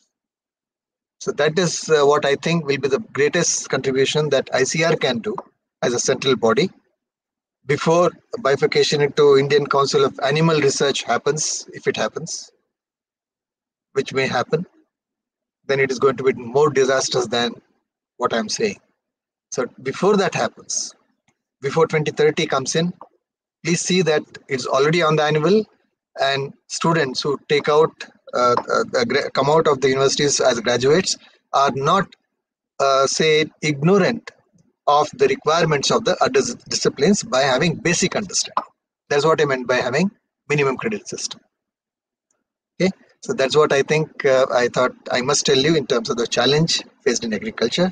Thank you for giving me this opportunity. And uh, although uh, it may be sketchy because I was not prepared uh, for whatever you wanted me to say, and I hope I have lived up to your expectation of uh, meeting uh, the requirements of students. And I'm most willing to answer any query the students may ask, want to ask, or even others who may want me to elaborate on what I meant if they want to. I'll be free to explain. Sir, Thank you. there's a person, uh, there's a person, Suvrajit Patra, and he is asking, Sir, what is the main difference between plant breeding and plant biotechnology? Okay. See, uh, plant breeding is a larger science.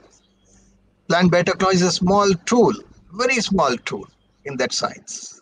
Although it may appear to be, uh, uh, as, as I said, uh, as it beg- began today, because you'll be wearing a pair of gloves and having a mask, and uh, maybe even you'll be having uh, your eyes covered when you're isolating RNA, and then trying to clone a, a gene product or expressing gene region into an E. coli uh, culture, and then moving it into a plant system. So you'll be, you think you may be doing great uh, science part of it, but this is a very small role that will add to the plant breeding repertoire of adding a new trait which is non-existent in a genome or existent in a low expression level whose expression you can increase or whose presence you can bring in into a new genome up to that only uh, plant biotechnology can do now that transferred genome will it be able to have the productivity with the expression of the trait? Or what is the kind of uh, the uh, breeding system you have to bring into that in order to make it have the same lifespan of 140 days which is to have earlier before the transformation happened things of this kind are plant breeding research. So it's only one small tool to enhance the visibility of uh, facing the uh, say problem solution systems through plant variety development that's what plant breeding is Sir, uh, one question is coming from Miss Pooja Singh. She's asking, can I get internship training in your institution that is PPV and FRA? no this is a regulatory organiz- organization uh, where there is very, very high order of uh, uh, confidentiality because it is about intellectual property claim of one against the other. So therefore, there is no question of uh, uh, people who are on a fluid system moving in and out, who will be uh, dealing with uh, the uh, materials and applications and data, uh, which is very detrimental for the confidentiality system. However, we can organize training programs for outsiders without being part of the application system which internship will uh, be entailed into but to understand what are the requirements for protection of plant varieties how it can be affected what is the methodology adopted how that is done things of this kind that we can organize uh, as a training program but not on a basis of uh, internship is on this basis. Rakesh can add because he he has he is more experienced than I am in uh, handling PPV. Yes, uh, No, no, you, you, you have one question is coming with him for him. Yeah, yeah, one cannot uh, be part of all those confidential documents. Uh, perfect. sir. Yeah, please. Uh, sir, one question is for you, uh, Dr. Agrawal. One question is for you. Uh, can I get internship training in seed production technology from ICAR particularly? No, that uh, internship uh, per se not from ICAR. You can uh, write to our institutes, like uh, there is a directorate of wheat research, which is now converted into the institute. Uh, there uh, for sorghum, there is an institute of um, uh, millet research. So there are some institutes you can uh, write to them, and uh, th- th- absolutely there is no problem for not getting the internship. It can be done but universities are better place to undertake this. So one question is also for Professor Prabhu sir. Uh, so the person is asking, what are the scopes for genetics and plant breeding in foreign research, and can I include it with agriculture economics? Uh, what is foreign research? No, no, sir. The person is asking, can I pursue Uh, no, genetics, genetics and plant breeding uh, with foreign research and collaborate With it foreign with research. What is that? With what research? Uh, with what research? Foreign research. Uh, foreign, foreign. I guess the person wants I mean, to pursue plant breeding in foreign. Yeah, yeah, outside the Oh, country. okay, yes. okay, okay. All right. And he's also asking, can I yeah. correlate it ag- economics? Yes, sir. Economics. In future. Yeah, okay. Now, uh, this is an intelligent question. The basic qualification required to take up uh, genetics and plant breeding, whether in India or abroad, uh, is that you need to have uh, uh, BSc with uh, genetics somewhere in your course system and plant breeding uh, also in the course system. If you have it, then you will have done your master's in genetics and plant breeding. Then only you will be qualified to do research in genetics and plant breeding. Otherwise, minus basic qualification in masters, you will not be able to do plant breeding MSc either in India or abroad. And there is absolutely no crisis uh, within India as far as this area is concerned, and also uh, equal opportunity outside India. In fact, the maximum number of uh, postgraduates in agricultural research are in this area only abroad.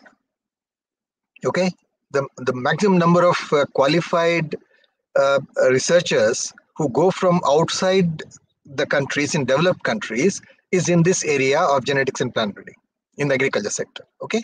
So there is absolutely no uh, no crisis or no shortcoming in your planning to take up a research career outside india as far as genetics plant breeding is concerned. Now the intelligence part is about agricultural economics and uh, introducing this in between there.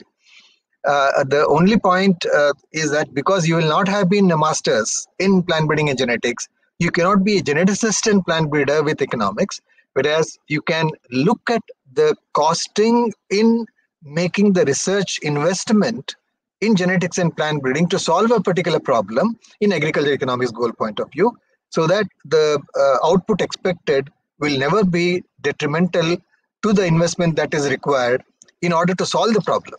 Which means you, you cannot solve the problem through genetics route or not can be established if you link and only if you link the genetics plant breeding problem which is with a particular issue with agricultural economics. If you are taking a project of that kind as an economist it, it can be pulled. Not otherwise. You, you cannot be ms uh, uh, say agricultural economics with genetics plant breeding as an external point. It cannot be. Right, sir. Uh, sir, Suvrajit Patra is also asking that what is the best university for doing PhD in horticulture pomology in abroad as per your point of view? as per my point of view. Uh, any of the European uh, systems, such as the Netherlands, uh, Germany, uh, uh, are the best. Uh, Wageningen is one of the best uh, for horticultural uh, research in terms of pomology or stone fruits uh, based system.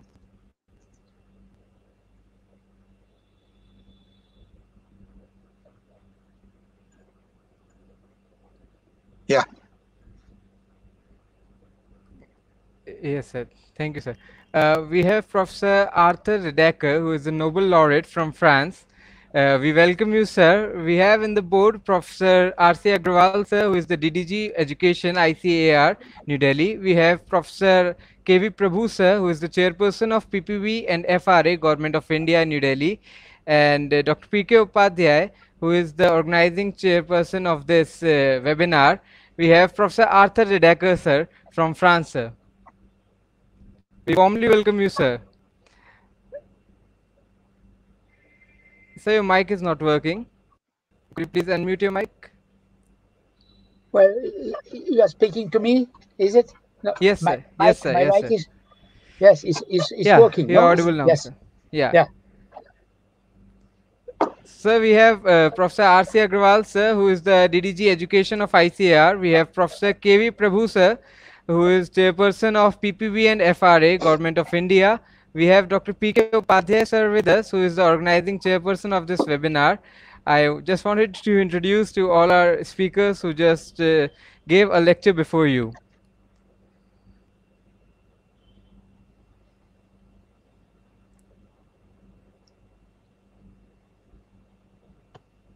Yes, you, you tell me when I when I should share a screen, uh, please. Yes. Yes, sir. So, sir, uh, we have uh, Professor Arthur Riedacker, sir, who is a Nobel laureate from France, and he was a professor and scientist at INRA France. INRA, Uh, yeah. A warm welcome to you, sir. Yes, INRA.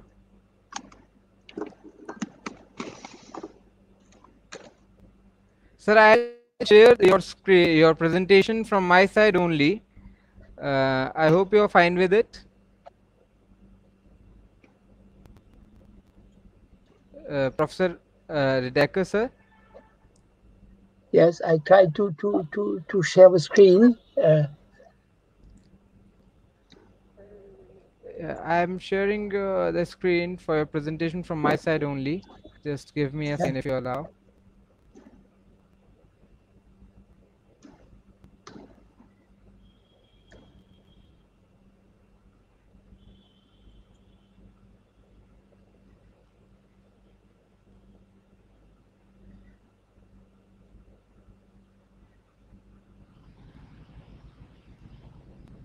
Mm. Yes, sir. I hope you are able to see your presentation. uh, what I, I okay. Do you see my my presentation? Can you see my presentation? Yes. Not yet, not yet. Ah, now it is. Now it is. Uh, yes, yes. Y- y- You can see it now. Okay. I will uh, full full screen. I will put full screen. Yes. Okay. Good. Is it okay now? Yes, sir. It's good now. It's good now. So you tell me when I should start. Yes. Yes, sir. Just give me a minute. So the screen is being shared from my side. Uh, here I, I have this, my screen here now. Sir, your Is uh, screen is not being shared. Sorry, sir. My, my screen is not being been on. shared. No, sir. Okay. What what should I do? So to to share the screen. Uh, well.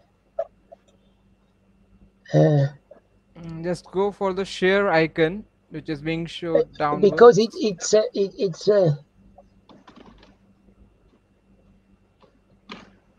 I don't know what happened.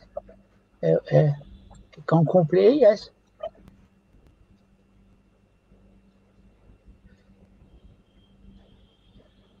Uh, I don't see. Uh, No, sir. So I'll share it from my side if you don't mind.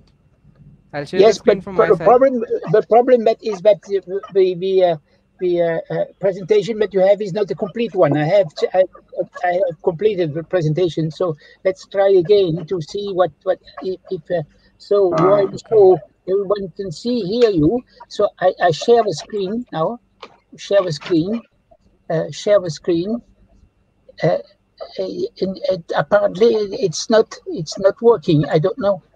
Uh, So just click on uh, show the entire screen icon, which is being displayed there. Well, yesterday it was it was okay. Uh, Huh?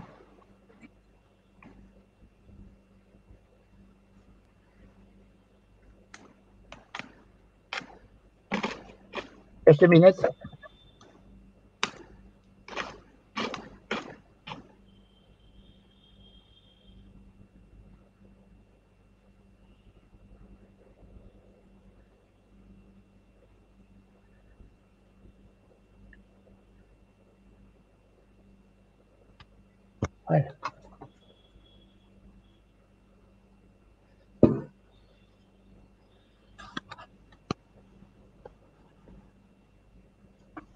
Asked me ag- again a a digit code. So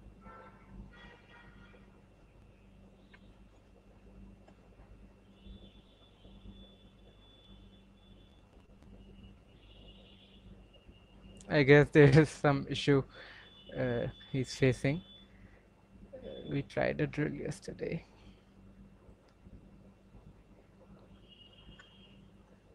You can take some more questions uh, if there is. I have to leave now. That's why. Yes, sir. Yes, sir. just wait a minute. I have, I need uh, uh, to, to send the code and uh, and to to to enter uh, the. I, I just got it.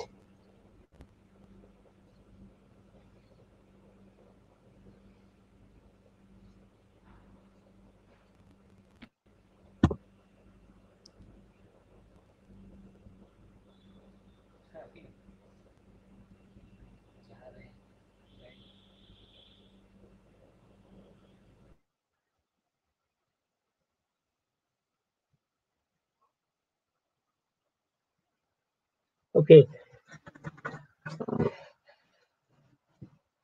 I I got the code. Yes. Four nine eight three eight nine. So login.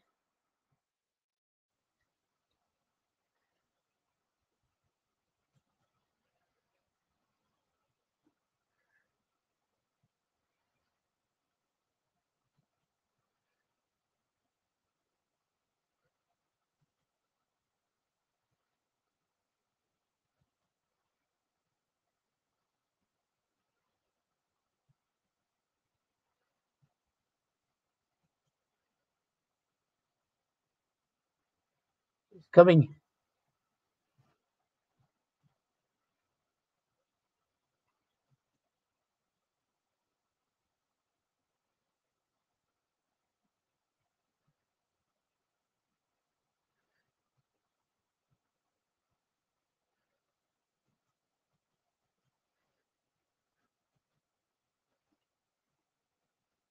Well, I'm I'm now I'm now in YouTube. Uh, maybe I should go back to to a link that you send me.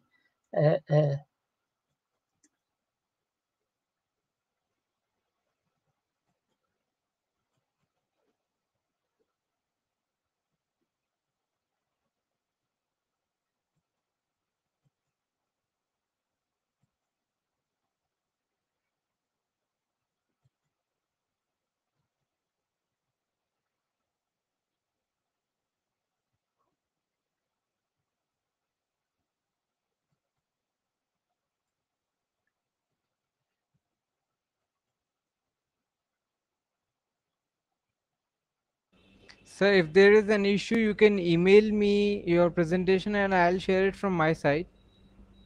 yes, uh, just a, a minute. Uh, uh, but uh, uh, yesterday integrated camera. Uh, yes, so- audio screen camera audio. Uh, uh, green, screen uh, camera setting. I don't know. I don't know why it doesn't work today. Uh, uh, display name. Uh, enter studio. Can you see me now? Can you see me now? Uh, uh, may- may- may- maybe share screen. Share screen. Share screen. And here, here I cannot, I cannot go, go further. Uh, yeah,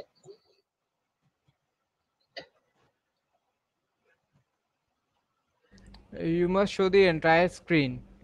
There must be an option to show the entire screen. Yes, but uh, do you see my screen? No, sir. I cannot see your screen, sir.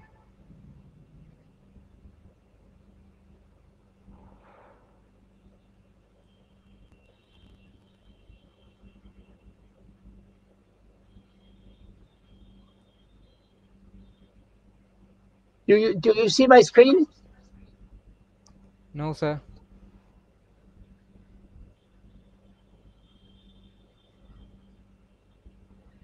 I don't know what to do. Uh, So you uh, can email me your presentation. I'll share it from my side. That will be a easier option, I guess. I, I can try to send you my presentation. Yes, sir.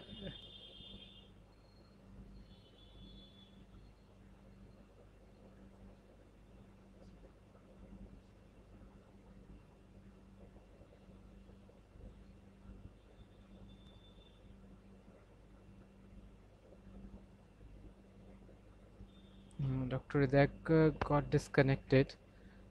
Um,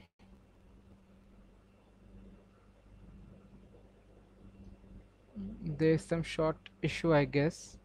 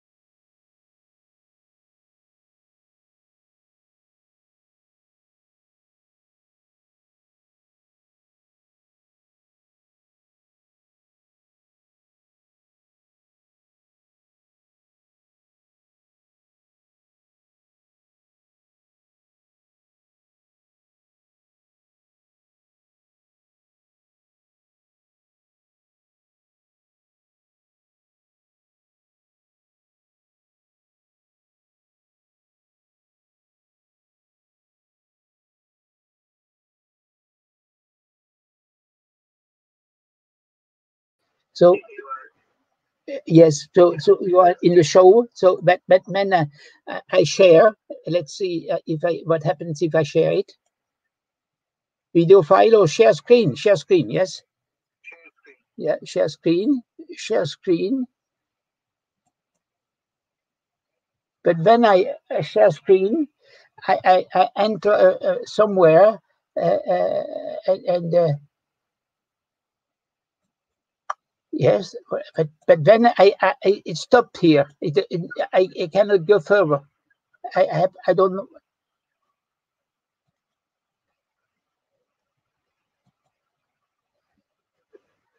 Do you- do you do you hear me?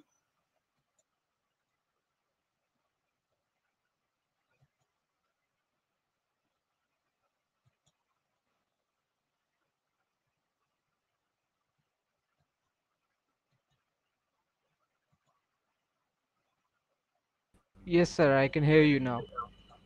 So good. I received your uh, presentation and I'll just showcase your presentation here from my side. And Yes. uh, probably you'll be able to see it and we can run the presentation that way. That's right. Let's just uh, try a, a, a last minute uh, uh, uh, again so with, with a link and see what happens. So, yeah. I don't know what happened. So, what?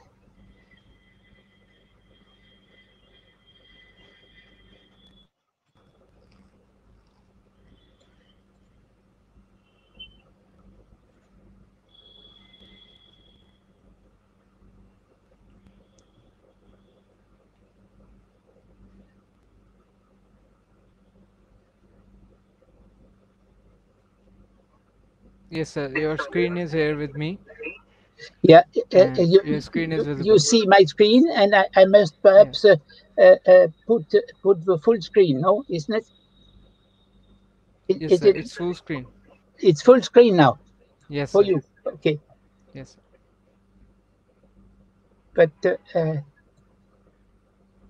okay, it, but now how, how can I change the the, the, the, the, slides? Okay, it's working. Yes, I think it's working. Huh? Okay, okay, okay. Yes. Okay, fortunately it's working, apparently. Can can we, uh, you tell me when we start? Yes, sir. We can start it now. We have Professor Okay. Arthur Riedacker, sir, from France. He's a Nobel laureate and professor and scientist from INRA. Yes, sir. We Yeah. can continue with your presentation now. Yes, thank you very much. Uh, I, uh, and uh, hello, everybody. Uh, I'm pleased to give this presentation this morning, uh, in spite of some difficulties we had.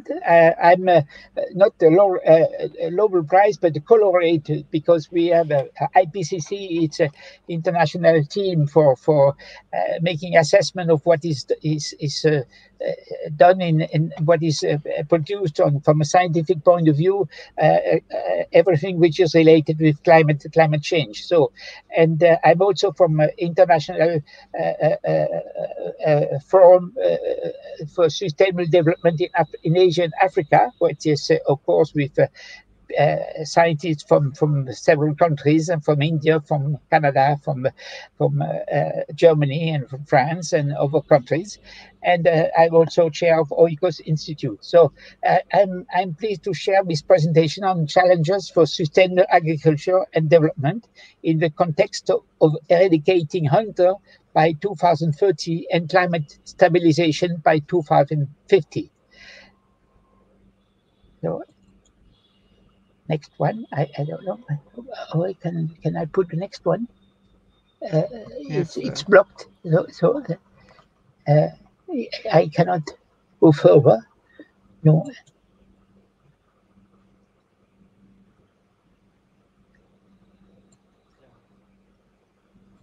I guess against some issue is hitting. Share screen. I don't know what happened again. The same problem as, as before, because all of a sudden, no. Hmm.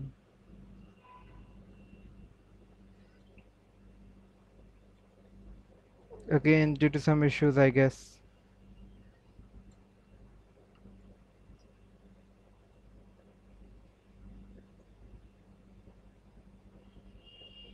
you are in, in the show. Euh, euh, arrêtez partage.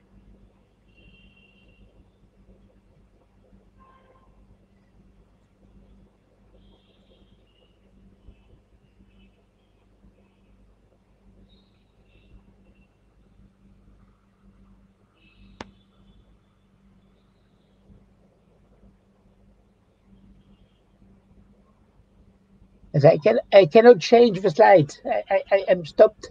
I'm stick to slide number one. So maybe if you can from your side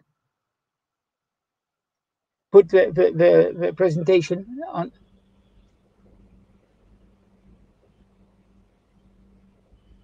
Don't know what's the issue coming. Uh, let me sort it out once.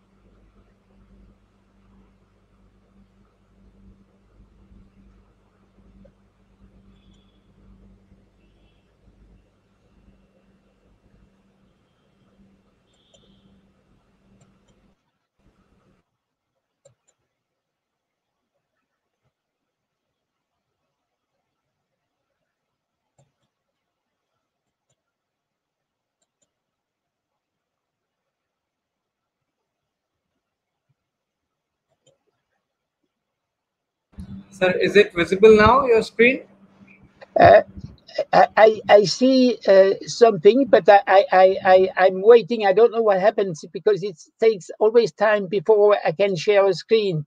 So uh, uh, uh, it's not visible for me now, uh, but, uh, but so if, if I, no, I- so it's visible what, what you, what you have here now. Is it for what I have or is it, is it your presentation? Uh, do you, I don't see the presentation. Did, did you put it on the screen?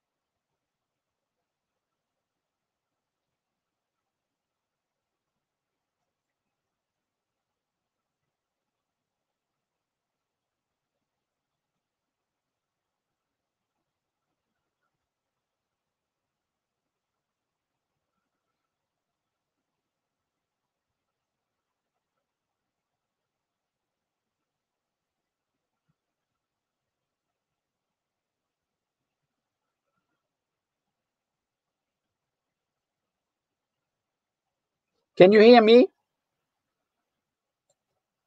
I can hear you. Can you hear me, sir?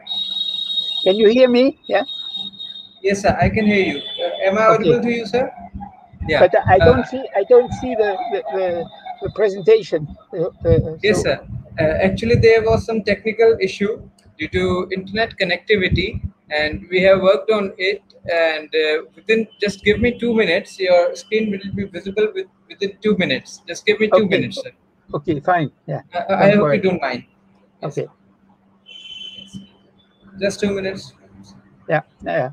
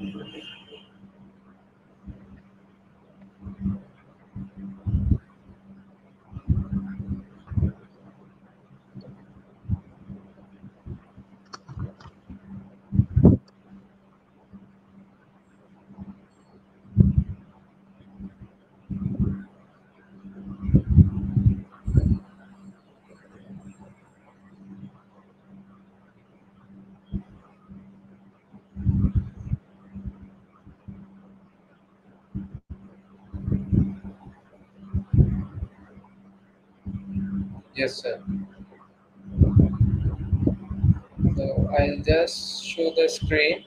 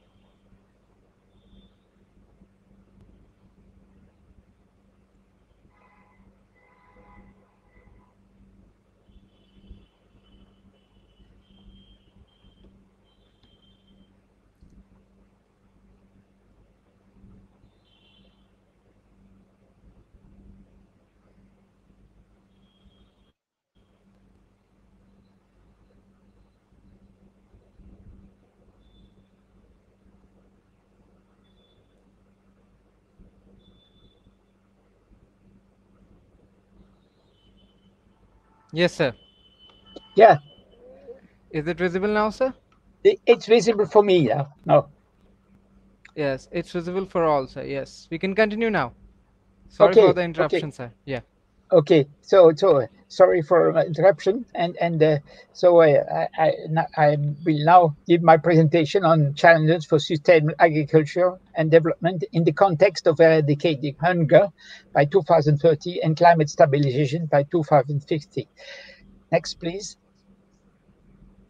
Yes, here is the outline of my, my presentation. I'm just going to say a few words about the global challenges for, for 2030 and 2050 and then I I will insist on implication for biomass production, conversion, and land use. Uh, and uh, then I, I will come back to the, this uh, uh, uh, motto, which is uh, do more with less, less with what? But you have, to hierarchize actions, otherwise we will never be able to, to reach these, these targets. Then I will say a few words about carbon neutrality in agriculture, that does not imply removing all greenhouse gas emitting uh, uh, inputs. So that's very important. And uh, uh, justification of governmental economies interventions uh, and uh, about Adam Smith recommendation, necessity of international solidarity. And then I don't see the, the back of this, but then some some some some general issues. So next one, please. Next, please. Yes. Uh, we we have, I'm not going. We have to consider when we look at at uh, use of biomass for for food.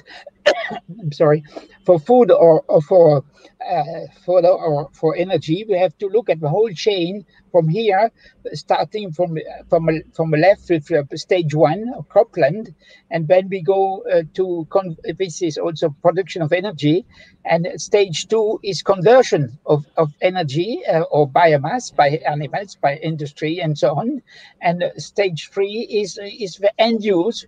We have to have to meet uh, uh, the the the, uh, the basic needs of everybody. Uh, uh, uh, that's that's quite a, a- big task, and and so I will consider today on, only some some issues relevant to crop production. That's the first stage, and also livestock and bioenergy, and and and the third issue is food and health. Next one, please. So, uh, 17 U- UN Sustainable uh, Development Goals, all governments, and I insist on governments, committed in 2050 to er- eradicate hunger by 2030. And uh, we will be uh, 0.8 billion people more uh, in 2030. That's a, that's a big challenge, but uh, it's even more uh, a, a bigger challenge for 2050. Next one, please. Yes, in 2050, we have not only to feed uh, uh, uh, 9.7 billion people, that means plus 2 billion people compared to today. And we have also to uh, have uh, to reach carbon neutrality, that's, that's uh, approximately zero net emissions by 2030. That's a big challenge to, to, to, to, to, do, to reach both targets. Next one, please.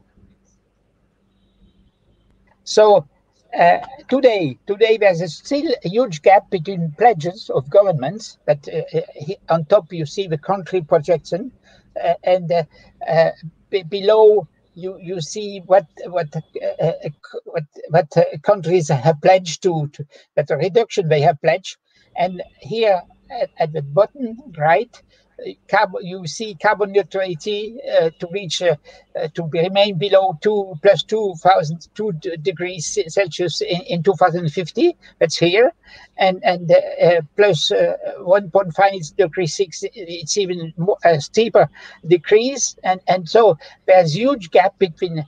Uh, what is pledged today and, and what is going on and what should we should uh, uh, achieve so next one please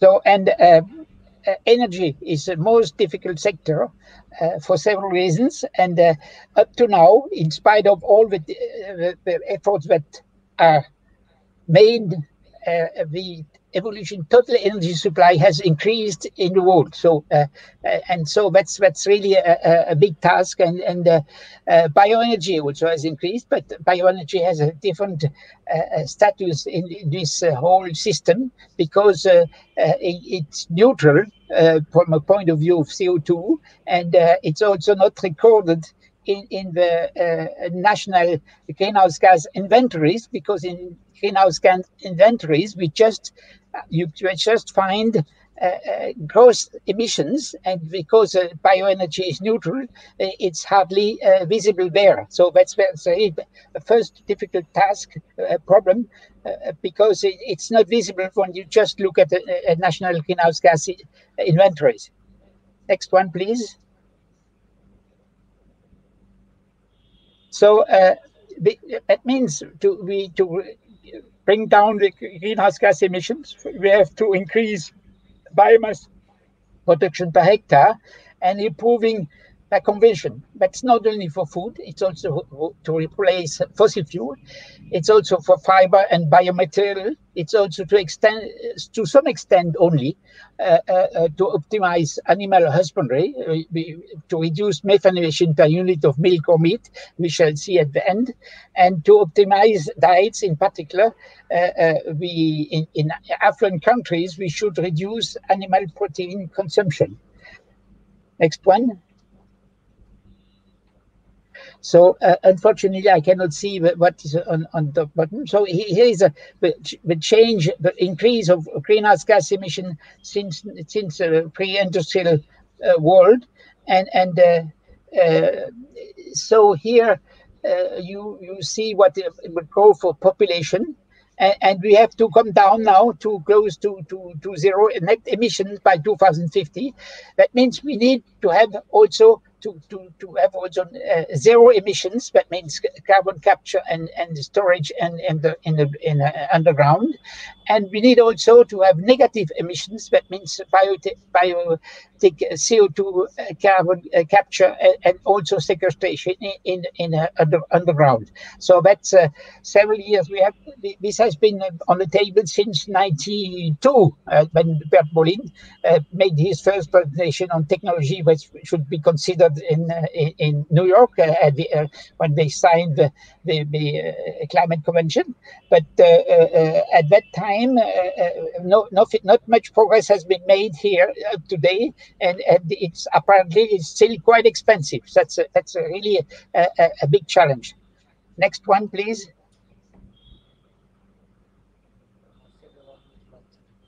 So, um, and and uh, we have the first, apparently first uh, uh, uh, big power plant using biomass and with carbon carbon sequestration uh, will be in UK. This Drax Power Station has just been presented uh, a few a few weeks ago, and uh, it, it's of course this this big plant will will use biomass produced in, the UK, in particular uh, Miscanthus, but it will also use biomass produced in, in, in, in southeast of, of uh, uh, Uh, the US in, in Florida uh, and by uh, shipped to, to various uh, ports in, in harbors in, in, in, England and then then be used there and and by 2030 they they expect to, to have to capture the CO2 and to store it in underground. So it's it's a first.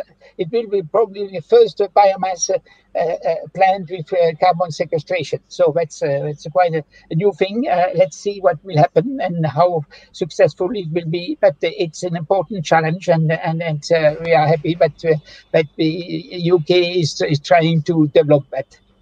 Next one, please. So uh, for for a country like India, but also for other countries in China and and, and so on, uh, we have a lot of, of rice, straw, uh, and sometimes it's uh, it's burned in, in the field and, and it could be used better uh, by to produce energy. And uh, for instance uh, here we have a, a, a, a, Spanish company who is making different baling systems. So uh, I think uh, this could be used also in in in in India and, and in other countries, but it needs some organization. So it's, it's, it's of course there are some changes to to achieve that. Next one, please. So globally, this is what you see in the emissions, net uh, uh, uh gross emissions uh, from from from uh, uh, from from different sectors, and and for instance, we have here we have agriculture, we have buildings, transport, industry, and and so and these are direct emissions and these are indirect emissions. But for agriculture it's, it's about a quarter of total emissions uh, coming from agriculture and forestry and land use. So that means it's a it's a, a big a big issue and we have to bring this to reduce this drastically as as much as possible uh, at least. Next one please. So uh, emissions here in agriculture and forestry they are of course, 5.2 gigatons of CO2 come from CO2, uh, CO2 equivalent, and but also methane is also very important, uh, 4.5. But this figure is a figure with a, a, a global warming potential for 100 years, and which is uh, the one that is used today officially. But uh, but actually, uh, if we are to uh, um, reach zero emission net emission by 2030, you would have to multiply this with contribution by two. So that's that's very important. Uh, you should not forget about methane. So N2O is 2.3. which means it's, it's, it's, less than, than methane at the world level, and uh, it has another characteristic because uh, this this emission can be compensated, whereas this emissions cannot be compensated. Compensated, for instance, by by by uh, livestock. So, so here we can compensate N2 emissions by having higher uh, uh, biomass production. That's very, very important. Next one, please. Yes, and also we have to see uh, uh how this is uh, uh, this emission change according to to to countries and, and in particular according to income average income per capita. So in low income countries, you have mainly emissions from biomass from from from agriculture, forestry, and so on. So uh, that's that's very important here. But in other countries, uh, they have in addition to to to these uh, emissions, we have also other emissions. For instance, in the build in industry and, and, the transport sector, which is an important one, and, and also in in energy sector. So it's it's uh, important to have this in mind because the emission the efforts to be to reduce emissions are much higher here, and it's it's also uh, what is. In, uh, uh, inscribed in, in a, uh, climate convention that the rich countries have to make efforts and to show a lead. That's important. But uh, so we everywhere we have to decrease uh, decrease emissions because to to reach uh, the target for 2050. Next one, please. Yes, uh, so there are several issues to, to reach that, uh, uh, that, uh, that targets. Uh, some are technical and scientific issues, so we, I should come back to that.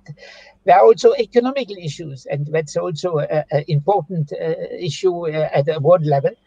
Are organizational and social issues uh, from a point of uh, organizational issues. I just uh, mentioned the, the issue of harvesting rice straw, which is, has to be organized and so have to need some changes. There's also social issues, and most groups uh, even in agriculture, in particular in agriculture, uh, uh, they are trying to maintain their, their, present situation and their privileges, and they prefer uh, ignoring some changes that are uh, necessary. And that's a very big challenge because uh, every group tends to see that what he's doing is not important. And well, if he do is doing something, if he's increasing the improving the situation, it will not change much. But if everybody says the same, we will never be able to reach the target. So, so one very important thing is that everybody, every national and international institution, I insist on that because uh, most of the institutions are not convinced what they should do. And every government is not aware, if they are not aware and convinced of changes that are necessary, we have but little chance to meet, to meet these targets by 2050. Next one, please. So uh, point three is uh, is uh, very often uh, you can read in the literature do more with less, but uh, uh, very often people don't say what what less, and so we have to to to to give some precision about that. To to less first thing I, I, is is important for for biomass for agriculture and forestry is to to use less land per unit of product service to, to avoid deforestation. And that's that's important. We shall see that. The second point is to uh, less input or more input. It's a question. Uh, uh, a more efficient use of inputs, and the answer will be more efficient use of inputs, but not less inputs. That's that's really, uh, uh, unless it's they are inefficiently used. So, and the third point is better conversion and, and management of, of biomass production and, and conversion. So next one, please. So uh, to just to show the importance of land use change. Uh, this is a temperate uh, situation, for instance, in, in, in France, but in most uh, temperate conditions, we have the same. The average uh, uh, carbon stocks in, in in in, uh, in in forest land is about 16 tons. Of course, are quite variation, but these are averages. And in grassland, it's about 90 tons. Uh, uh, uh, you have 300 ton of CO2 when you remove uh, the, the when you deforest. You have uh, an emission of 90 tons if you uh, switch from grassland to cropland. And if you look look what you have, the emission that you have here per hectare uh, uh, Uh, uh, uh, the gross greenhouse gas from inputs, but from nitrogen and, and for deep fertilizer and also from irrigation and so on, uh, energy for irrigation, it's about 2.7 ton of CO2 per, per, per year. So that means it's it's quite small compared to the emissions that you have with land use, and these are gross greenhouse gas emissions. And but you have to consider net greenhouse gas emissions. And it becomes when it comes to biomass production uh, for food or fodder or for energy, then we have negative. We have already uh, uh, negative emissions because we, we but- but if you take into account the, the energy which is in the biomass which is produced, uh, that it can completely uh, uh, uh, compensate the gross emission that we have from by increasing inputs. Next slide, please. So these are changes in in, in uh, uh, under the tropics for Amazon forest. For instance, we have uh, about 100 point- 150 to 180 ton of carbon per hectare. That mentioned 506 seven between 500 and 700 660 ton of CO2 per hectare. That's much higher than in in in, in, in temperate countries. And in the Cerrados also we have uh, we have less trees, of course, but we have also uh, between 40 and 60 ton of carbon uh, per hectare. That means about the same as in as in Europe. So, next one, please. So that for, to, to reduce uh, uh, uh, deforestation and land use, and so also conversion of grassland into cropland, we have to use the present land as efficiently as possible everywhere in the world. Next one. Uh, what is land use efficiency? It's not bud yield, it's of a crop per hectare, but the total amount annual production per hectare uh, of land. So, uh, for instance, per ton of cereal, dry matter, kilocalories, and ton of we have to consider yields from main crops, that is already done, but also from intercropping and of multiple cropping. That's that's important.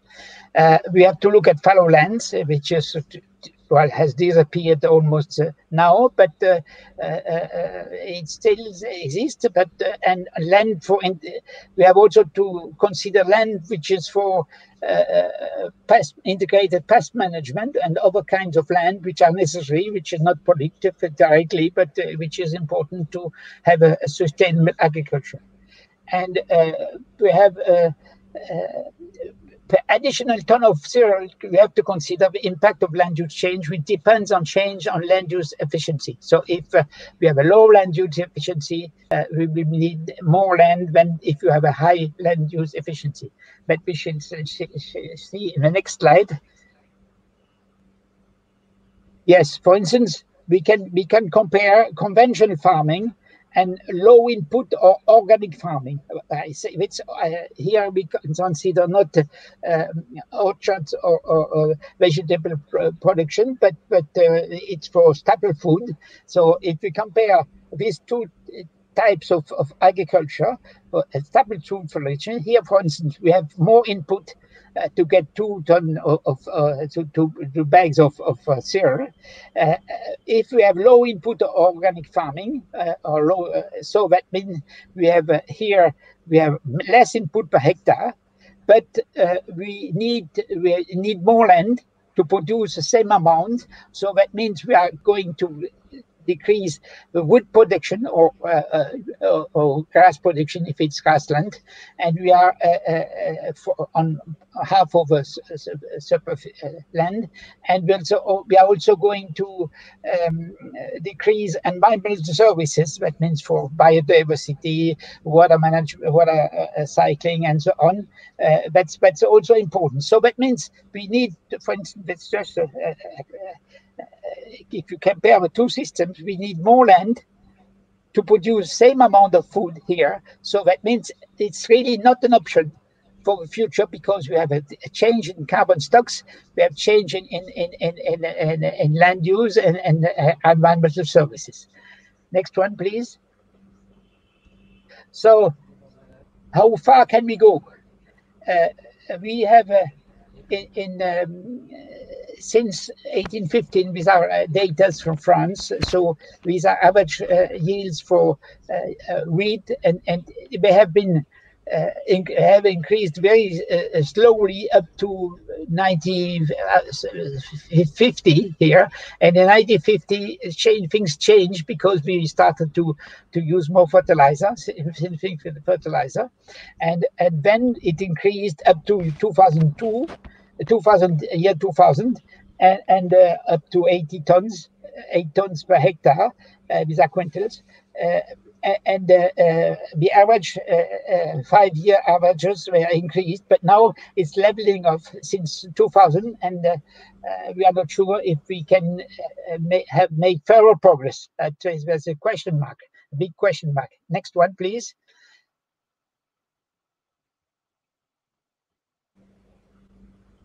The next one, please.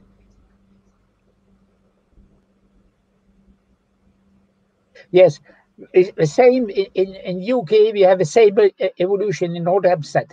For instance, this has been a measurement since 1860. So these are uh, uh, yields uh, of uh, of uh, wheat uh, since without any inputs. So they are very low, uh, below one ton uh, if they have no input. So that's uh, uh, But with inputs, they have increased. No, the average wheat yield is about the same as in France, about eight tons per hectare. Uh, and uh, uh, some in some conditions we can increase the in, could increase a little bit more the, the yields, and they expect. At, at least with the target, I'm not sure that we are going to reach it, but uh, it- it's a target uh, to, uh, to re- achieving uh, 20 tons per hectare in 2032. Uh, that means in the next 10 years. So that that's that's a big challenge, and nobody knows if it's feasible and and how to which extent we can increase really this this present uh, wheat yield. Next one, please.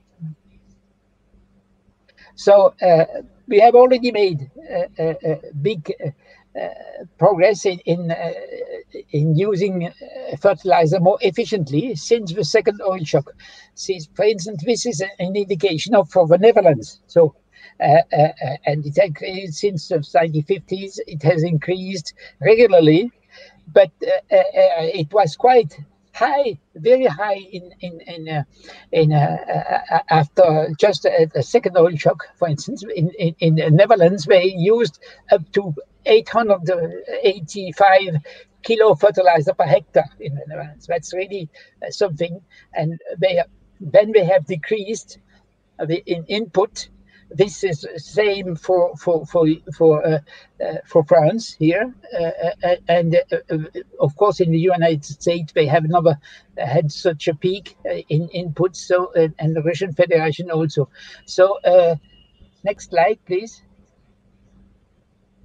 But in spite of this reduction of uh, uh, um, of uh, fertilizer, uh, uh, yields have still increased. These are, for instance, the United States, uh, uh, the, this is the Netherlands, and this is France, and so they are still increased, and that's that's that's that's.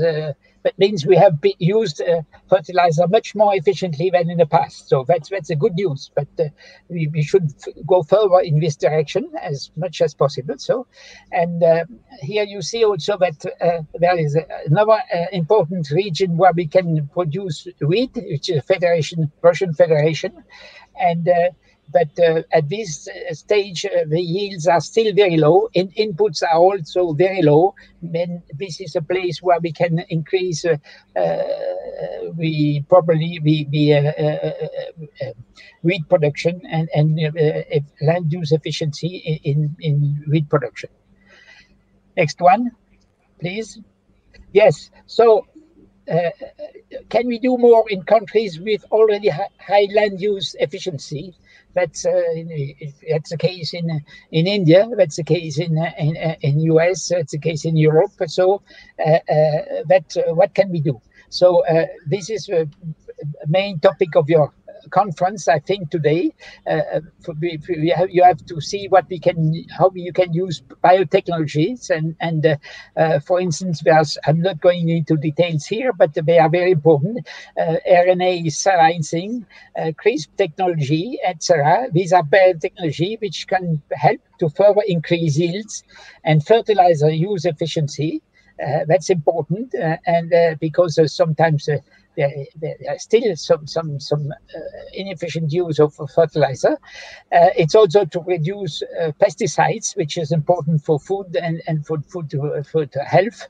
But, uh, and and due to climate change, we are also to see how um, resilience of, of plants can be uh, uh, improved. For instance, how to have a higher resistance for in in in face of higher temperature and extreme climate events. That, that's so that's a, a, huge task for people working in this area, and so you have you have work for the next 10 to 10 to 20 years for, to improve all this situation.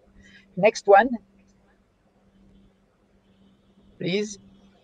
Yes, uh, here you see how much land we have spared because due to uh, cereal yield improvements. So this is uh, uh, all what is in blue here is the land which has been spared uh, because of increase of yields of of, of grain. So that's a case in, in, in many of uh, countries where we high uh, with high land use efficiency. I said uh, that uh, that Europe, and US, and and and India, China, and so in, and some other countries.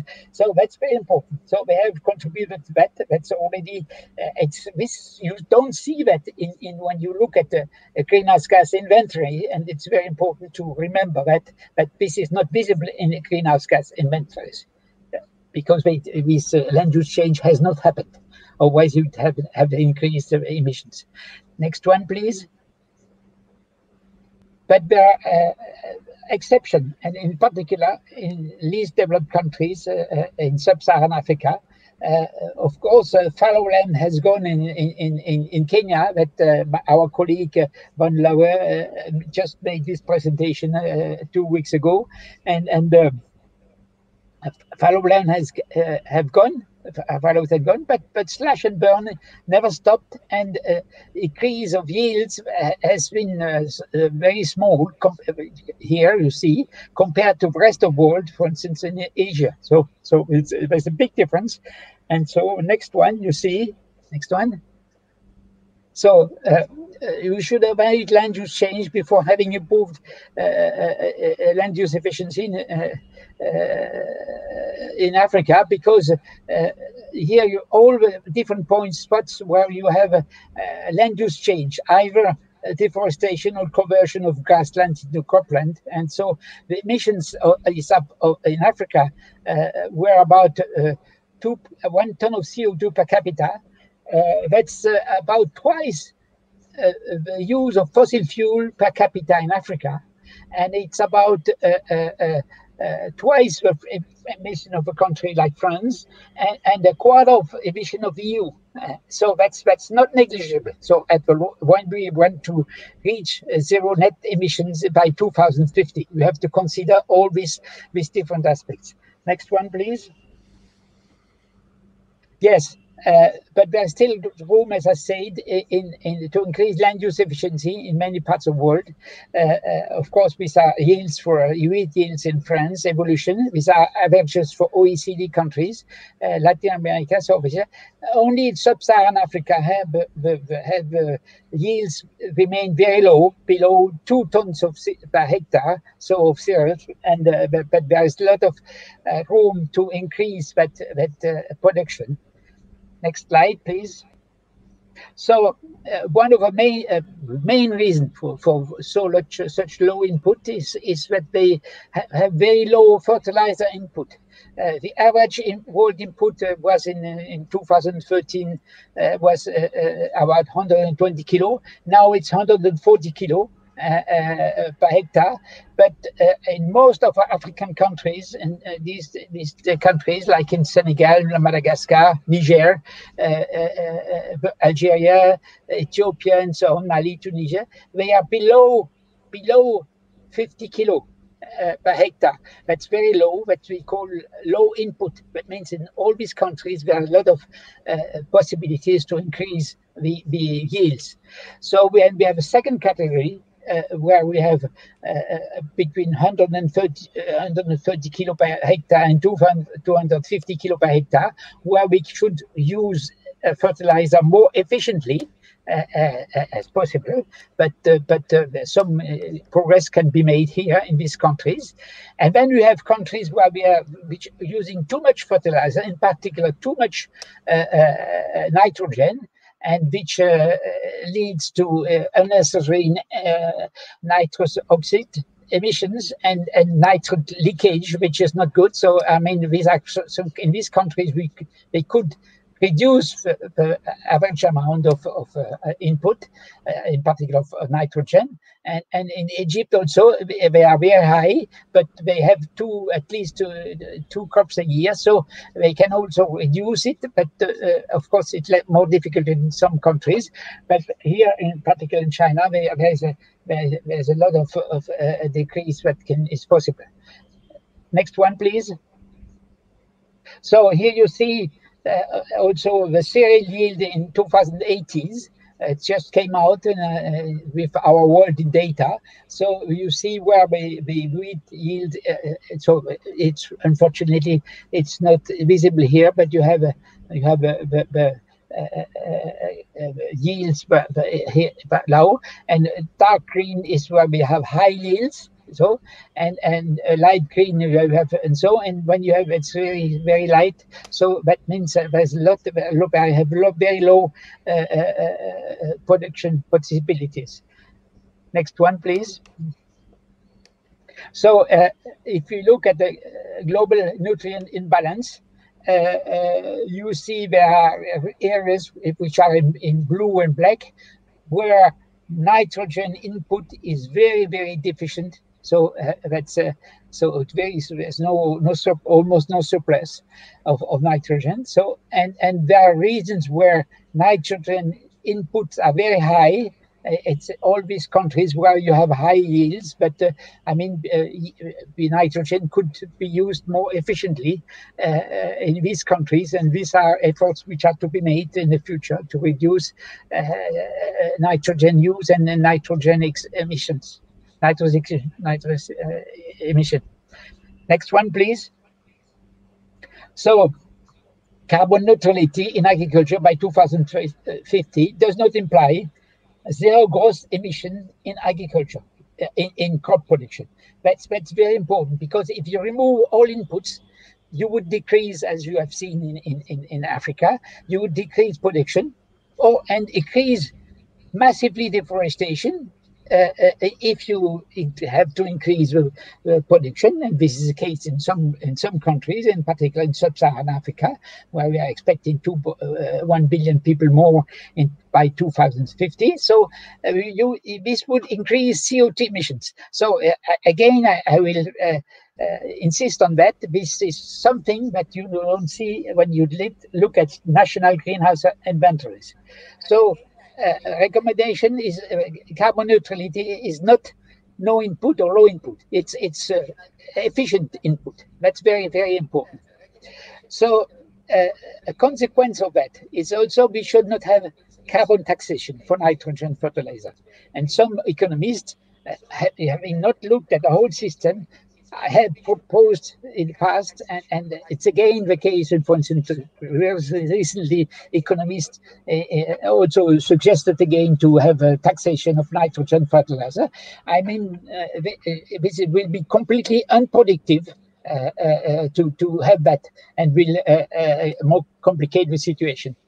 but giving incentives to produce nitrogen fertilizer with less CO2 emission, in particular by replacing natural gas and coal by with hydrogen produced with uh, uh, uh with uh, renewable energies, for instance.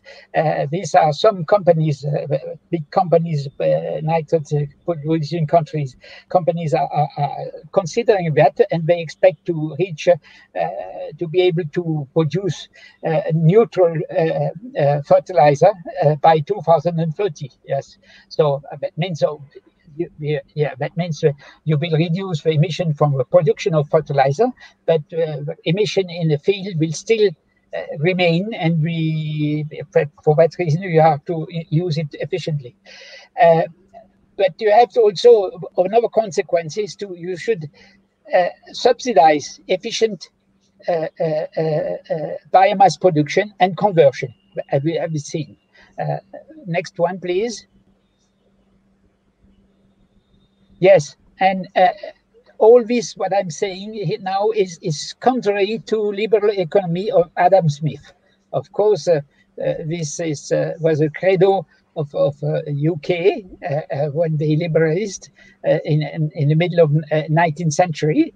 But um, today we are liberal economy will never be able to bring down sufficiently greenhouse gas emission in time. So that's very important. You, if you follow the trends in in, in countries like uh, in region like Africa, sub-Saharan Africa, you will see, you see that uh, the, the progress uh, made are very slow in spite of, of uh, some people promoting, trying to promote uh, uh, uh, green revolution also in Africa.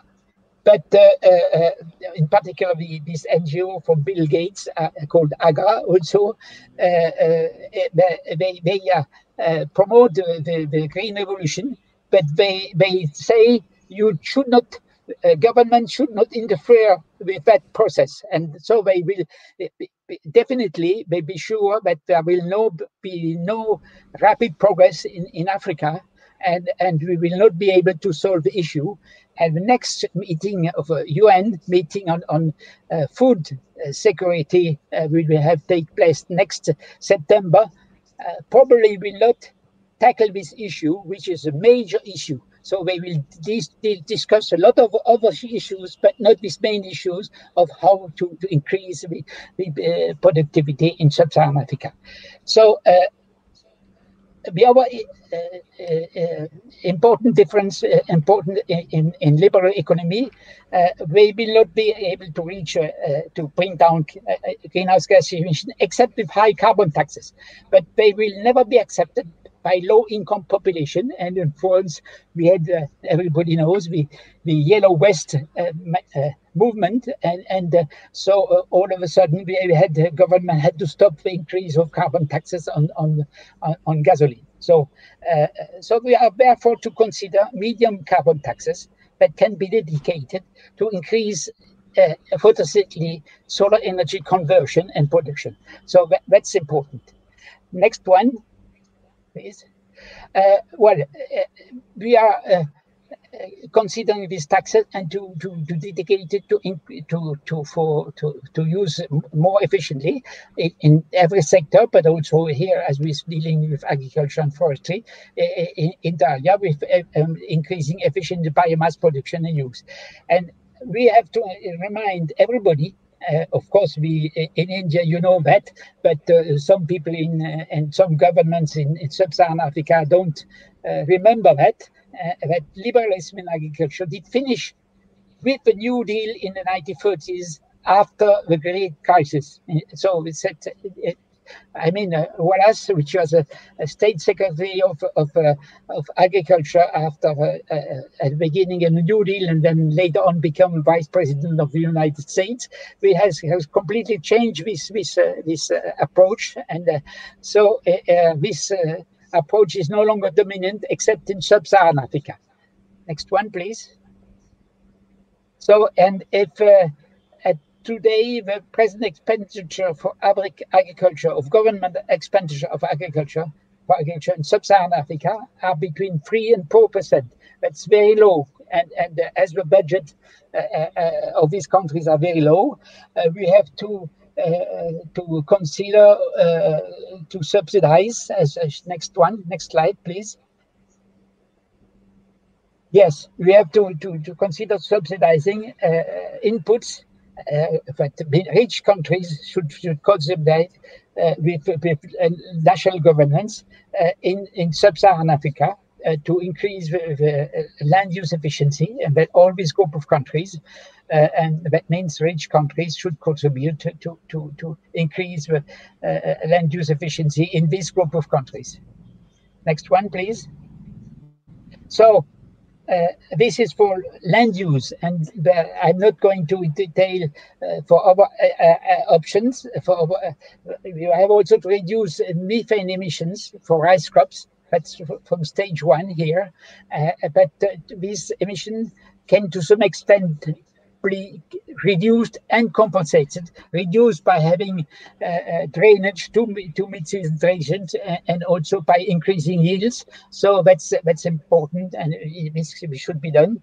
And but the other kind of emissions from enteric fermentation, which are from stage two, which is not converting, uh, just converting biomass, not converting solar energy, uh, you have to you cannot compensate it with, uh, but with renewable energy and additional biomass plantation in, in, in this at stage one. And uh, these options are there to feed animal better, to reduce the uh, methane emissions per kilo of milk or, or meat, and uh, to reduce the number of animals when possible, if uh, of alternatives, and and also for enrich in affluent countries to reduce uh, animal protein consumption. Uh, uh, sometimes in, in, in Europe and US, you could divide it by two and still have enough protein per capita to for have a healthy diet. Next one, please. So, well, uh, I, am not going into the details, but you will find more information in these uh, books and uh, in chapter one, uh, 10, I, what I wrote on a completely analytical framework to reach global food security by 2030 and carbon neutrality by 2050. Uh, so we have you have more consideration on livestock management in different regions of the world, and that's uh, but there are also many other interesting uh, papers, uh, in particular from Rishi Bell and also from uh, Manfred Kern on on Manfred Kern on, about increasing um, uh, uh, increasing vegetable protein consumption. this is particularly relevant to affluent countries. Next one. And also uh, in, in, a paper which is in print, which will come in September 21 in the journal Food System. Uh, and uh, uh, this, this paper is called Agriculture Intensification and Policies for Hunger Eradication and Climate Stabilization. And also we have a, a conference next September in in in in, in um, in Delhi, a video conference, of course, because uh, in many countries the pandemic is not yet over. So unfortunately, next one. So I, I do thank you for, uh, and I also apologize for the difficult, technical difficulties we had to for this presentation, but uh, I'm now open to your questions.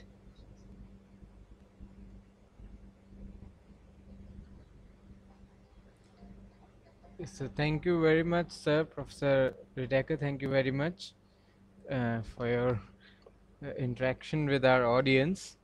I hope there are a few more questions from audience uh, to Dr. Riedacker uh, on the topic on what he delivered a lecture just now. If anybody is interested to ask any questions to Dr. Riedacker, they are most welcome. So, uh, sir, here's a question for you. Sir, can you please suggest me some universities for PhD in food technology and agriculture in abroad?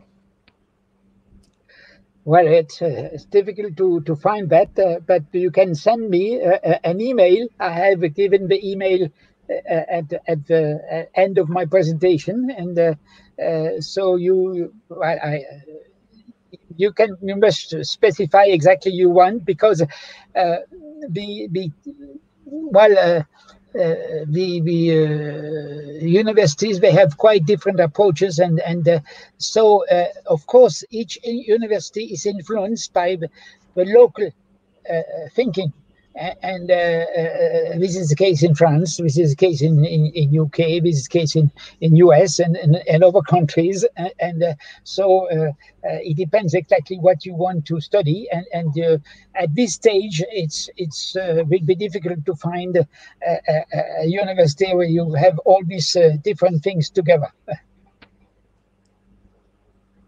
Yes, sir. any audience from any audience who are interested to ask any questions to Dr. Riedacker? Okay, I guess no questions. If there are no questions, I, I, would be I would be interested in the in the in the discussion that uh, and presentation we are going to have uh, about the, the, biotechnology for to to make progress in these different areas, and uh, I, I would uh, I would suggest you to consider the different areas and see what you can kind of improvements you can make. Of course, you have a lot of uh, a lot of competent people in in in India uh, and uh, in different areas that I mentioned on uh, CRISPR, on RNA splicing, splicing, and so on. But so I would be pleased to to hear what what the, they consider and what kind of progress we can make, they could make in the future.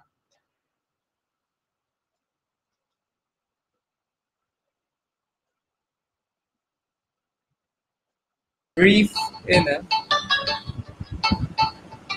I hope there are no more questions from Okay. anybody. Okay. That was a nice presentation, no doubt. It was crisp Clear and clear from from each each and and, every every slide. slide. I, I think it relates also to some discussion that we had when we had the, this presentation when I was in, in Agra and, and uh, Yeah. about the organic farming and, and uh, also about the emission on on on uh, on uh, uh, livestock. Uh, uh, and uh, so it's are different. Are issues that are quite complicated to Okay, explain. yes, sir. One question is here for you. Yeah. Okay. How can India help in food scarcity at sub-African region, sir? Well, uh, well, at least uh, uh, one one action can be be, made. Uh, I mean, uh, African countries should uh, imitate what India has done. That means, uh, first of all, to control the imports. That's complicated because of the customs, and it's quite difficult. So they try. Some of my colleagues, like Kako Nubukpo, they say, but they have to control the money the, the, the, the, currency to, to be able to uh, to limit the importation. That's one thing. And the other thing is at the international level uh, to, to, to insist upon the fact that Africa can increase uh, uh, the land use efficiency and uh, that uh, African countries should co-subsidize. I'm not saying subsidize because subsidizing is substitution for this government. We are not to, I mean, uh, these are independent governments and they should uh, uh, develop their own policy, but they should become aware that nowhere in the world, except in sub-Saharan Africa, there are still the, system which is uh, uh, uh, the liberal system is no is no longer uh, um, uh, valid today and will, will not be able to to reach uh, to at the same time development, which is one of a major uh, objective of, in Africa, and at the same, same time decrease uh, greenhouse gas emissions as uh, much as desired. So it's, uh, I mean, from a political point of view, India can have a, a good, uh, a good uh, support, be a good support. Yes, sir. for research uh, also, it's for research also. I mean, uh, uh, when I was in Hisar, I remember we had a lot of. They have done a lot of studies on palm, on palm uh, trees and date palm trees and so on, and and uh, they, they could uh, have bio, use biotechnology to improve the, the productions. So there are a lot of uh, things that could be done in in India, and uh, and uh, fortunately, in India you are not. Uh, restricted in in, in research because uh, in European countries, for instance, uh, in spite of the fact that uh, uh, they have uh, done quite interesting work in in in, in biotechnology, for instance, for CRISPR techniques and so on, but you know the GMO are forbidden in Europe and uh, because they are just considering GMO uh, to reduce uh, fertilizer herbicides, and there are a lot of other options, but from a political point of view, it's quite difficult to, to make this kind of research in in countries like Europe today. And uh, the other uh, aspect is, of course, everybody wants to to have a safe food, and and uh, the other difficulties we have that for most of the people, and because of commercial reasons, uh, safe food is is uh, considered as being organic food, and uh, that's why you have also to make uh, research uh, to reduce the, uh, uh, the herb- effect, uh, herbicides input and uh, phytocide input uh, for crop production. That's very important because everybody wants to have healthy food like me, uh, but uh, but uh, I mean uh, we have a, a, big fight because of the uh, communication system and, and which is uh, uh, which is completely uh, uh, strange today. Sir, one question is coming from Mr. Kuldeep Singh. Uh, so he's asking what is the reason from your point of view that Indian research sector is going back? Well, Indian research is going back. Yes, sir. Uh, well, Like your your point of view. I, I don't think, uh, I mean, I don't know uh, research everywhere in India, but uh, uh, uh, I, I've seen very, very good research institutes in India. And and so I think uh, uh, uh, I'm, I'm, I don't have the impression that it's going back. I have the impression that they are going to uh, pave the way for future uh, improvements and and uh, much better. And one of the reasons they I, I'm quite confident is because uh, your population in India is still growing. That means you have to increase the land use efficiency uh, even in India in the next in the next few years because land uh, per capita is shrinking. So so it's you have to be become more efficient, and uh, so you have to make progress. So I, I cannot you cannot stop uh, doing progress, and and uh, I, I expect that you are going to to achieve that. Exactly, sir. So one question is from uh, YogiTube. I don't know what's the name. Uh, university, uh, please suggest some univers- university for postdoctoral fellowship. I, I didn't get the, So he's asking you to please suggest him a university for postdoctoral fellowship, a PDF. Well, Postdoctoral uh, fellowship, yeah. I, I'm not well. I, said you uh, you can send me an email, but I'm not the best person to uh, to uh, uh, respond to that. I had a lot of students in the past, so I'm no longer involved uh, uh, officially. I'm retired, but I'm still working every day. But but I know contact with with fellowship, and and so it's no longer my my area.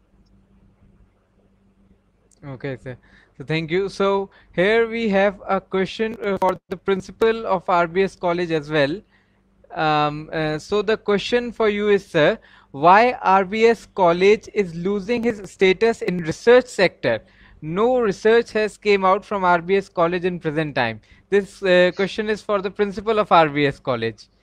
Uh, yes, Uh, sir. Uh, can it's for it's for Professor it's for Professor UN Singh, sir. Uh, this question is for Professor UN Singh, sir. Okay. Hello, good afternoon, sir. Th- Hello, am I audible, sir? Yes, sir, you are audible. Yes, sir, you are audible. Good afternoon, sir. Thank you, thank you very much. It is a very knowledgeable lecture, and I hope it will be fruitful for the people of agriculture, biology, science, and uh, etc. It will be very fruitful. I want uh, some suggestions for the improvement of the research work in uh, my institution especially in agriculture, field of agriculture. How can we improve our research? Well, there, there is no single answer for that. I mean, uh, uh, research is a, a multiple facet uh, uh, uh, uh, system, and and so you have to to, to to to explore the different areas. And and but one one perhaps difficult issue is is uh, in, many countries. I'm going to to to switch to another country to, to not to si- singularize uh, uh, India. Uh, it, it- the social issues are quite complicated, and and uh, sometimes people want to go away from that, that issues. I, I'm I'm just giving an example of Madagascar. Madagascar is the country which has the lowest input uh, uh, per hectare of fertilizer. And in spite of that, and we want to protect biodiversity there. So, and and there is again a drought in south Madagascar to, today, uh, and uh, they are going to have uh, problems to supply with, with food the, the population there. So, but they could increase drastically the production. But there are several constraints. There are social constraints.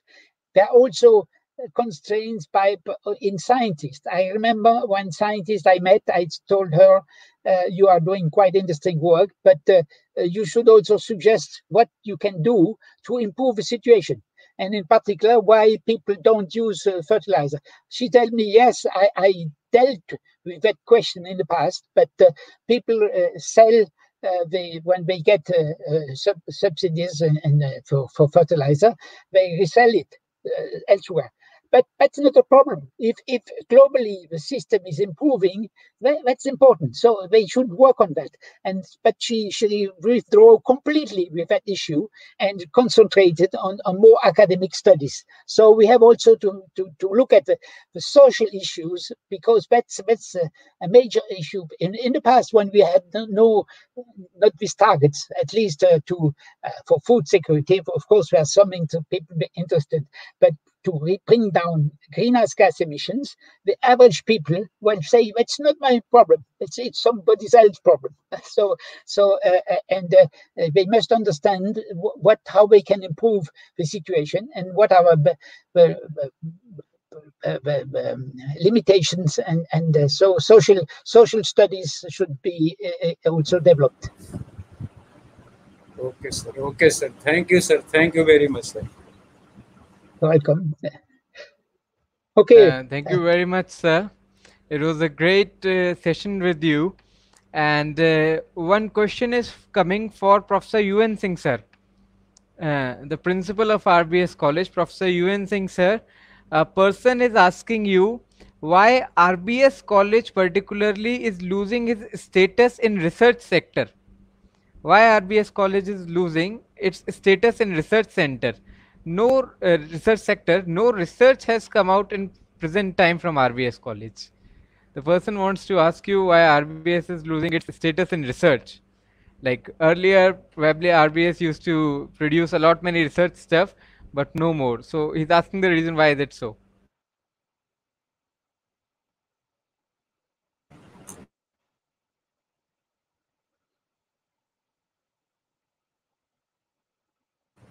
I do not agree with you. Still, uh, research work is going good in RBS college, and some people are working here nicely. You can contact the research scientists, teachers here. They are working good, no doubt.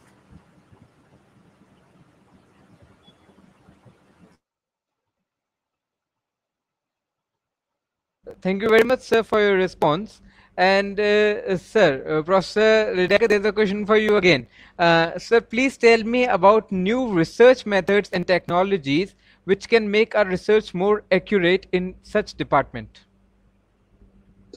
Well, you, you have uh, uh, uh, you have more competent people than myself in, in your in your country, and uh, I, I, you have quite efficient labs. And uh, I, I, remember uh, in Hisar, I visited quite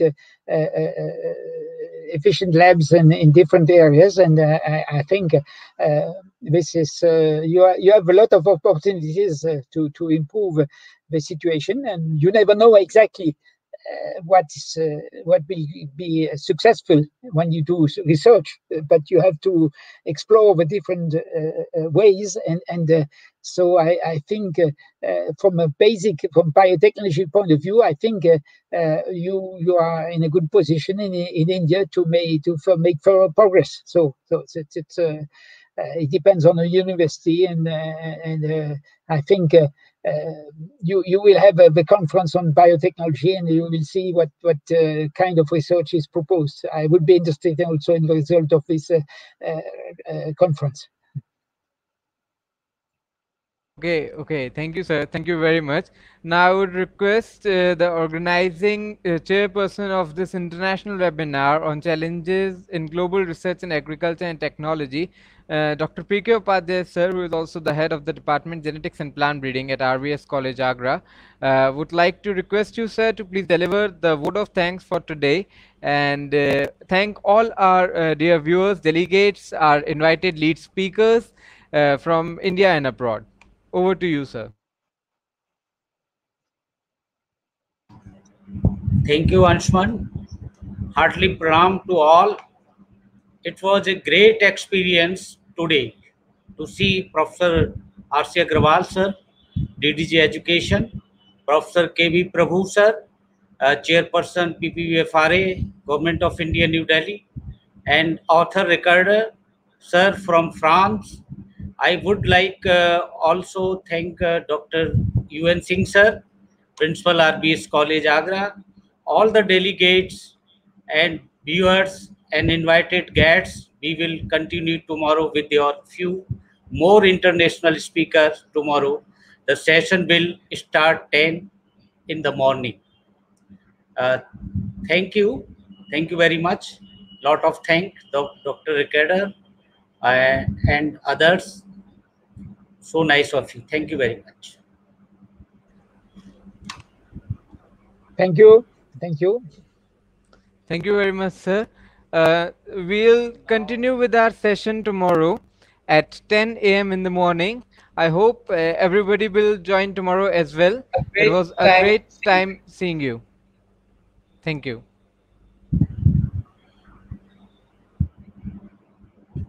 Thank you.